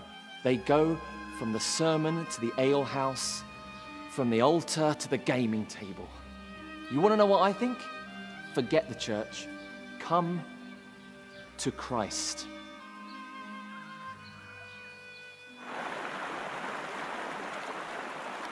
Bursting out of Oxford into the villages, the farms, and the market towns, Wycliffe students began to preach. These poor preachers, as they became known, were consciously attempting to get back to the earliest days of the church, when, they said, Christianity was pure and simple. The first generation of Christians were not bishops or clerics, but ordinary men and women, fired up with a compelling message. Jesus Christ has risen. Death is defeated. In Jesus Christ there is life everlasting, and this life is held out to you today. My poor preachers, Wycliffe said, are like the apostles. They go out into the world and they spread the good news of Christ, and they don't do it by claiming Wycliffe authority, they do it by claiming scripture authority. They would have been preaching, if you will, a reform message, but the emphasis would have been on the reform beginning in one's own soul. The essence of Wycliffe's gospel was that there is um, a sacrifice of atonement that makes sinners right with God. But it's not made at the Mass, and it's not made in purgatory. It was made by the one who is both God and man. People need to trust in Christ. It's not so hard to imagine that some people would have found this um, reasonable, sensible, and maybe even lit a fire under some of them. The idea of unauthorized men freely preaching was thrilling for some, but the church had not survived for 12 centuries by letting impostors claim to speak for Christ.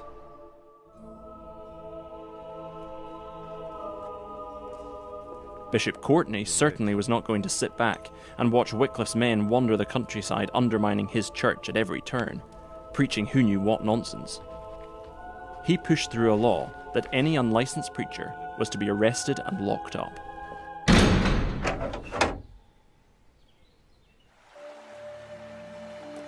Courtenay and the others had hope, that Wycliffe's poor preacher movement would dry up, but it was stubbornly holding on. The preachers had shown their love and care for the people, and now the people were cheerfully paying them back in kind.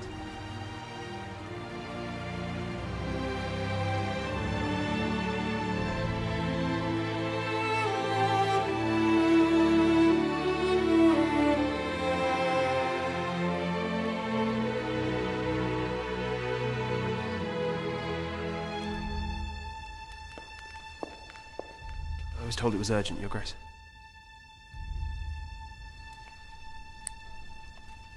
Alarming reports were coming back to the authorities. Walls of people surrounding the preachers, officers repelled at sword point. point, and always the preachers reaching further into England.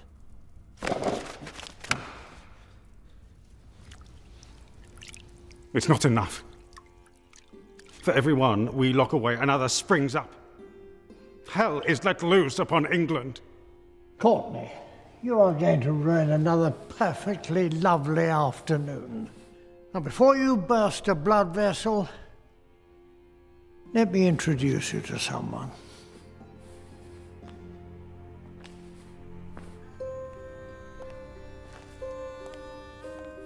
William Berton, the new Chancellor at Oxford.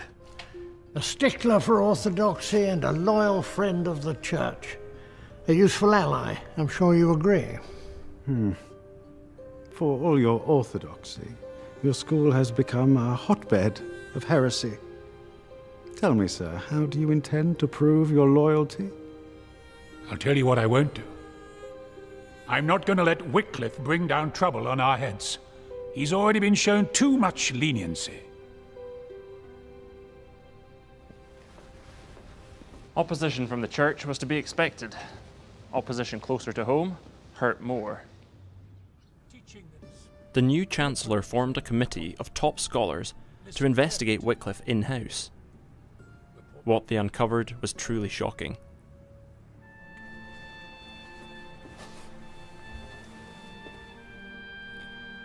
The medieval church believed that at the moment the priest said the words of consecration, the bread and wine of the Mass were transformed into the literal body and blood of Jesus.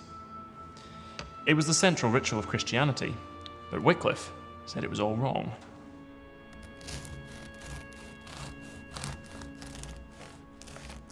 The Eucharist is the lifeblood of the medieval church. This could affect people's lives, people's salvation. Theologians had spent lifetimes reasoning about transubstantiation. I have collected arguments for transubstantiation, and I regard the collection as like a collection of butterflies. Each individual one is unique and odd and remarkable in its way, um, and they don't fly anymore. For John Wycliffe, his problems with transubstantiation are at two levels. Number one, and most significantly, he doesn't find it in the Bible. You look in vain to find that doctrine in the Bible, but also philosophically. He said, No, that, that is just nonsense. That is, is inflicting such illogic upon the logic of Christ. And Wycliffe believed, therefore, that the bread remained substantially, and yet it underwent a kind of spiritual transformation into Christ's body. So if you had asked Wycliffe, is Christ's body really present? He would have said, yes, it is spiritually present. The bread and the wine remain bread and wine, but we must receive it by faith. This was Wycliffe's most controversial idea yet. The Mass wasn't an abstract idea. It was the holiest mystery of religion that every medieval Christian loved dearly. Wycliffe's last political support melted away, and the newly hostile university took action. By the authority of the Chancellor, all those who teach or hear the following doctrines will be subject to imprisonment. Furthermore, They hadn't used his name on their proclamation. They didn't have to. Everybody knew who was meant. After more than 30 years in Oxford, Wycliffe had to leave.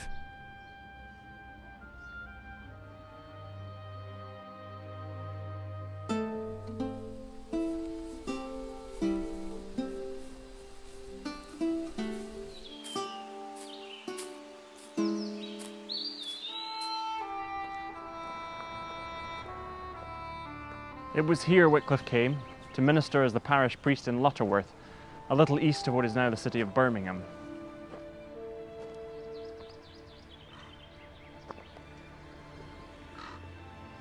Angry and resentful, he found himself banished from his home, his friends, and his place of work. If his life had become a war against the church, he had decidedly lost. There were certainly those in his circle whose anger drove them on to ever bloodier aggression. A revolution in Jesus' name. Have you listened to nothing I have taught? Of course I have listened.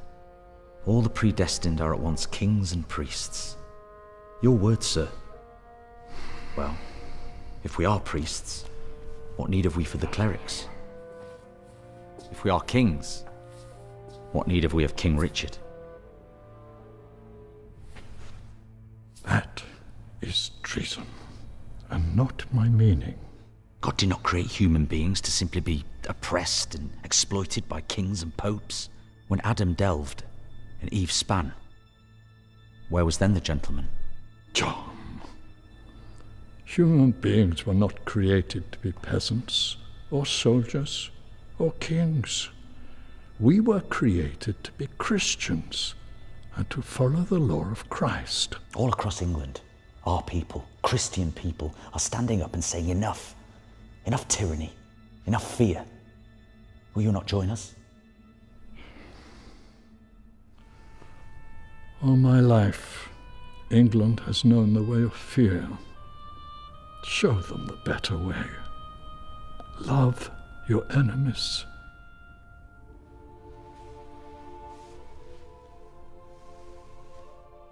We won't forget you, Doctor. It was you who showed us the way.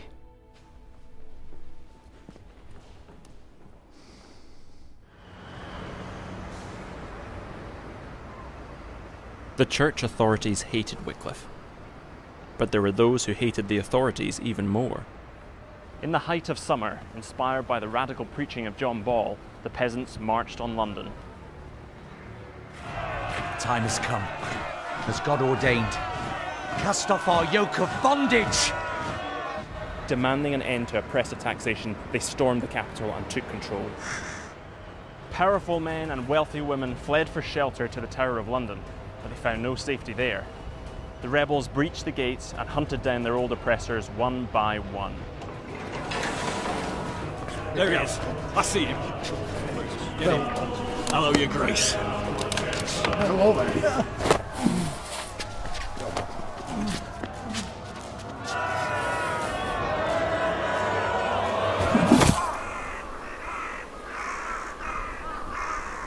The head of the Archbishop of Canterbury, with other abusive noblemen, was paraded round the town and impaled on a spike here on Tower Bridge.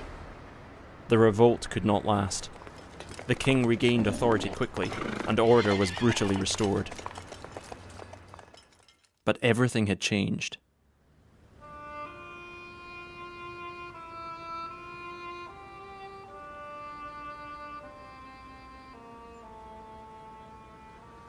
Across all England, there was a backlash against any talk of reform, and the new Archbishop of Canterbury saw his chance.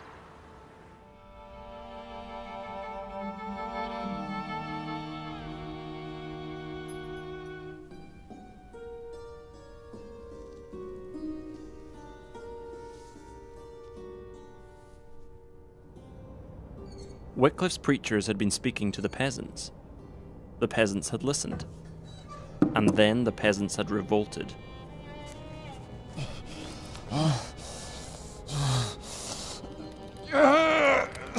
yes, yes, it must have been him. I did not hear you, villain. Was he the inspiration for your rebellion? Ah, yes. Yes, it was he. John Wycliffe.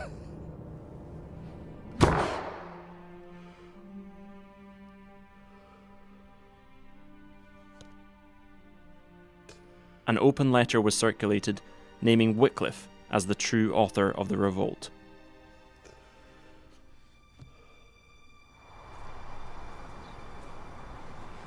It was an unlikely charge. In truth, Wycliffe hated violence and had even preached against such normal ideas as war and capital punishment. But the allegations alone were enough. Among the nobility, Wycliffe was now a scandal and disgrace.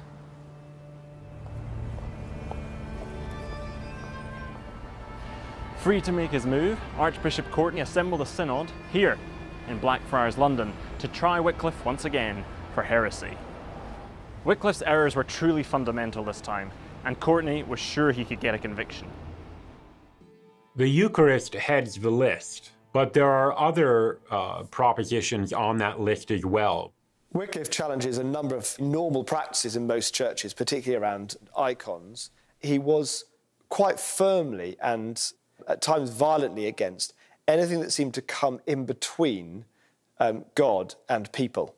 He also attacked the idea of tithes, which he thought shouldn't go to corrupt clerics. So Wycliffe thought that uh, any man could be holy as long as he lived a life of faith.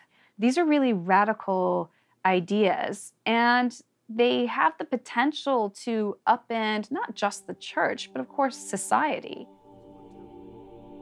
For some days, the synod sat in judgment. But just as they were coming to the point of pronouncing the verdict, London was shaken by a rare earthquake.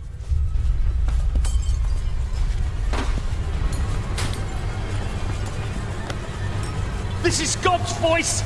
We are rebuked! Your Grace, we must adjourn! Brothers, hold!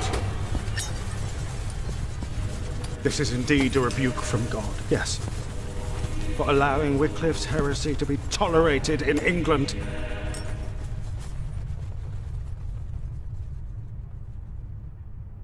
See how the earth is now at peace.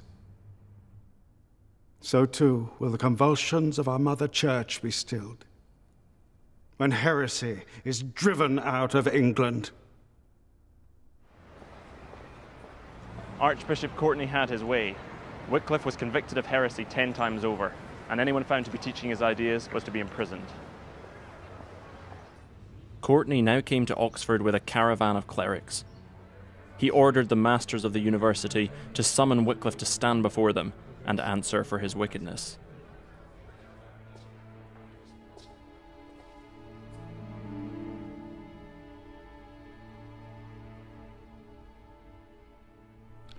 Since Jesus Christ shed his blood to free his church, I demand that freedom.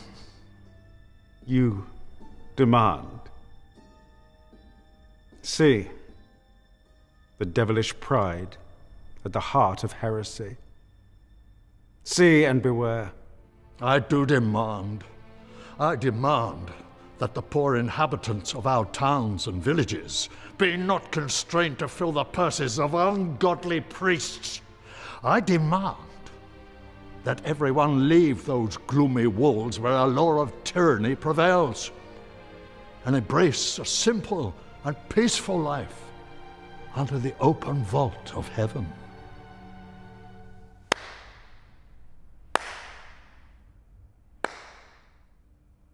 Bravo. Now hear what the Pope demands. That John Wycliffe, heretic, shall stand before the papal court. Though there should be 100 popes, and all the friars alive be transformed to cardinals, still I would not trust them unless they stand on Holy Scripture.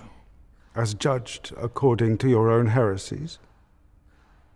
The Bible is not for your private interpretation, much less of unschooled farm boys. God appointed us, His church, to teach His word with divine authority. Your Grace, the Bible is its own authority. It is for the government of the people, by the people, and for the people. I will obey God rather than men. All the doctors of the church have had one voice. And you alone defy them! You think you contend with me alone? An old man on the brink of the grave? No. You contend with truth itself. And this I know the truth will prevail. Wycliffe! Stay where you are!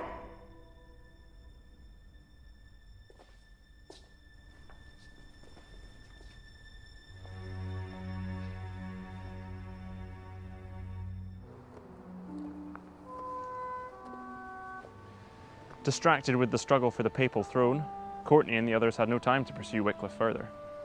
He was left alone here in Lutterworth.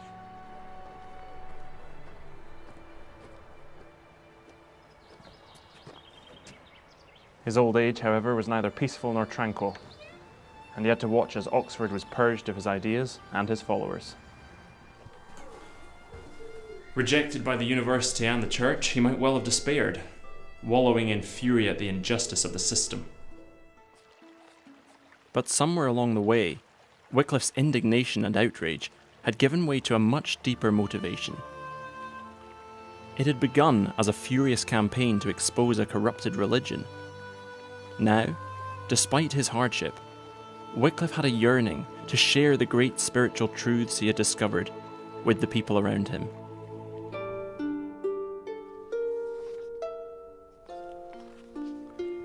Here, in the quiet backwater of a Midlands parish, Wycliffe began a greater work, a work which could never be fueled by mere anger. Englishmen learned God's law best in English. Moses heard God's law in his own language, as did Christ's apostles. And so shall it be for us.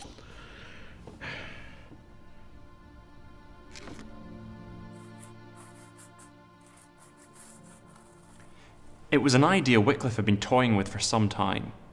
All physical Bibles are directly connected to the universal Bible, the Word of God.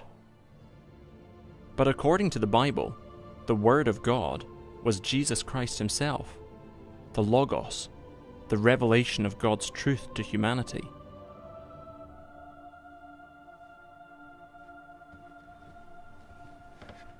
All actual Bibles were therefore directly connected with Jesus.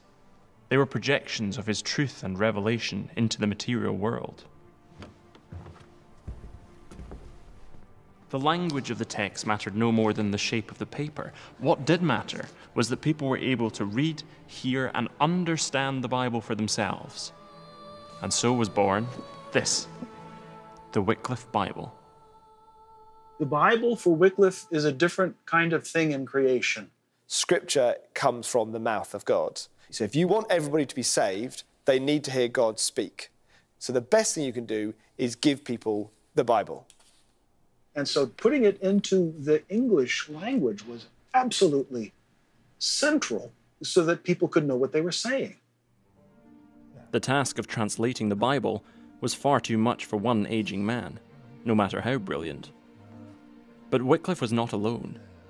His teaching had impacted many scholars, and a team quickly assembled, inspired and motivated by his vision.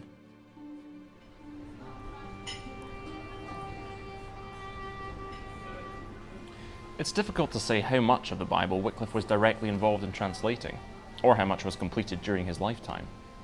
But it is certain that on its arrival, the English Bible caused a sensation. These were the days before the printing press, and Wycliffe's full handwritten Bible would be phenomenally expensive, not to mention rather heavy. Nevertheless, there was huge interest. From the greatest to the least, the people treasured whatever portion of the Bible they could get. We see now by a mirror in darkness, but then face to face. Now I know in part, but then I shall know as I am known. And now dwelleth faith, hope, charity, these three. But the most of these is charity. For many years, the people had lived in religious terror, They knew they were sinners, and God's fearsome judgment awaited them after death. When the plague had struck, some had even punished themselves, in the hopes of persuading God that they had suffered enough. The approach of Wycliffe and his disciples was quite different. God was not a furious tyrant to be placated, but a gracious Father who had rescued his children from the hands of the devil, and now called them to walk with him in faith, hope, and love.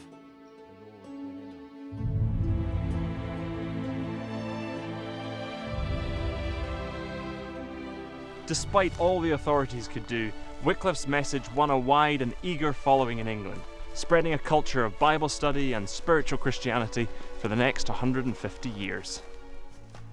That is what animates John Wycliffe. He seeks to recover for the church and for the world the significance of the written word of God. How does God want his people to live? We don't need to devise it or divine it. We need to go to the scriptures to find out, to do justly, to love mercy, and to walk humbly before their God.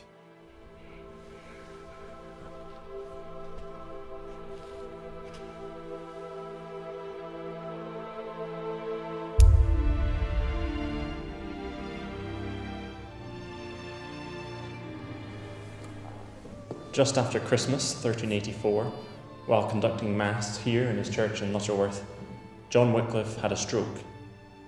A few days later, he peacefully died. In this thing is the perfect love of God with us. And we have trust in the day of doom. For as He is, also we be in this world. Dread is not in love, but perfect love putteth out dread. Therefore, love we God, for he loved us before. It can be difficult to separate the real Wycliffe from the myth. He has been painted as both a heretic and a saint, a hero and a villain. But as always, the truth runs deeper. I think the name Morning Star is kind of perfect because Morning Star is not full light, right? Wycliffe's soteriology, his theory of salvation, would have been thoroughly medieval. I don't think he neatly fits into uh, sort of a label like Catholic or Protestant. He's really simply a Bible man. And that, I think, is the fitting epitaph for his life. I do admire his commitment to truth an absolute determined commitment to truth. Reformers look back, they see his place in history as monumental because they say that he appeared in the darkest days of the church. And the fact that God would send someone, would send the Holy Spirit, is proof that God never left.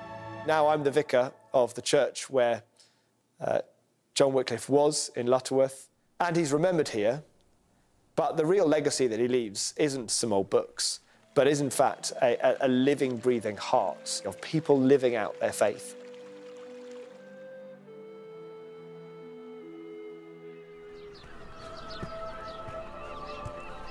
In 1428, over 40 years later, the church dug up Wycliffe's bones and, with great ceremony, burned them for heresy.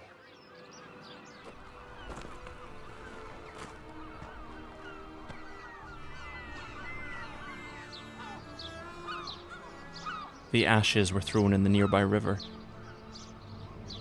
And the river carried them down to the sea, where the ocean tides washed them around the globe from shore to shore.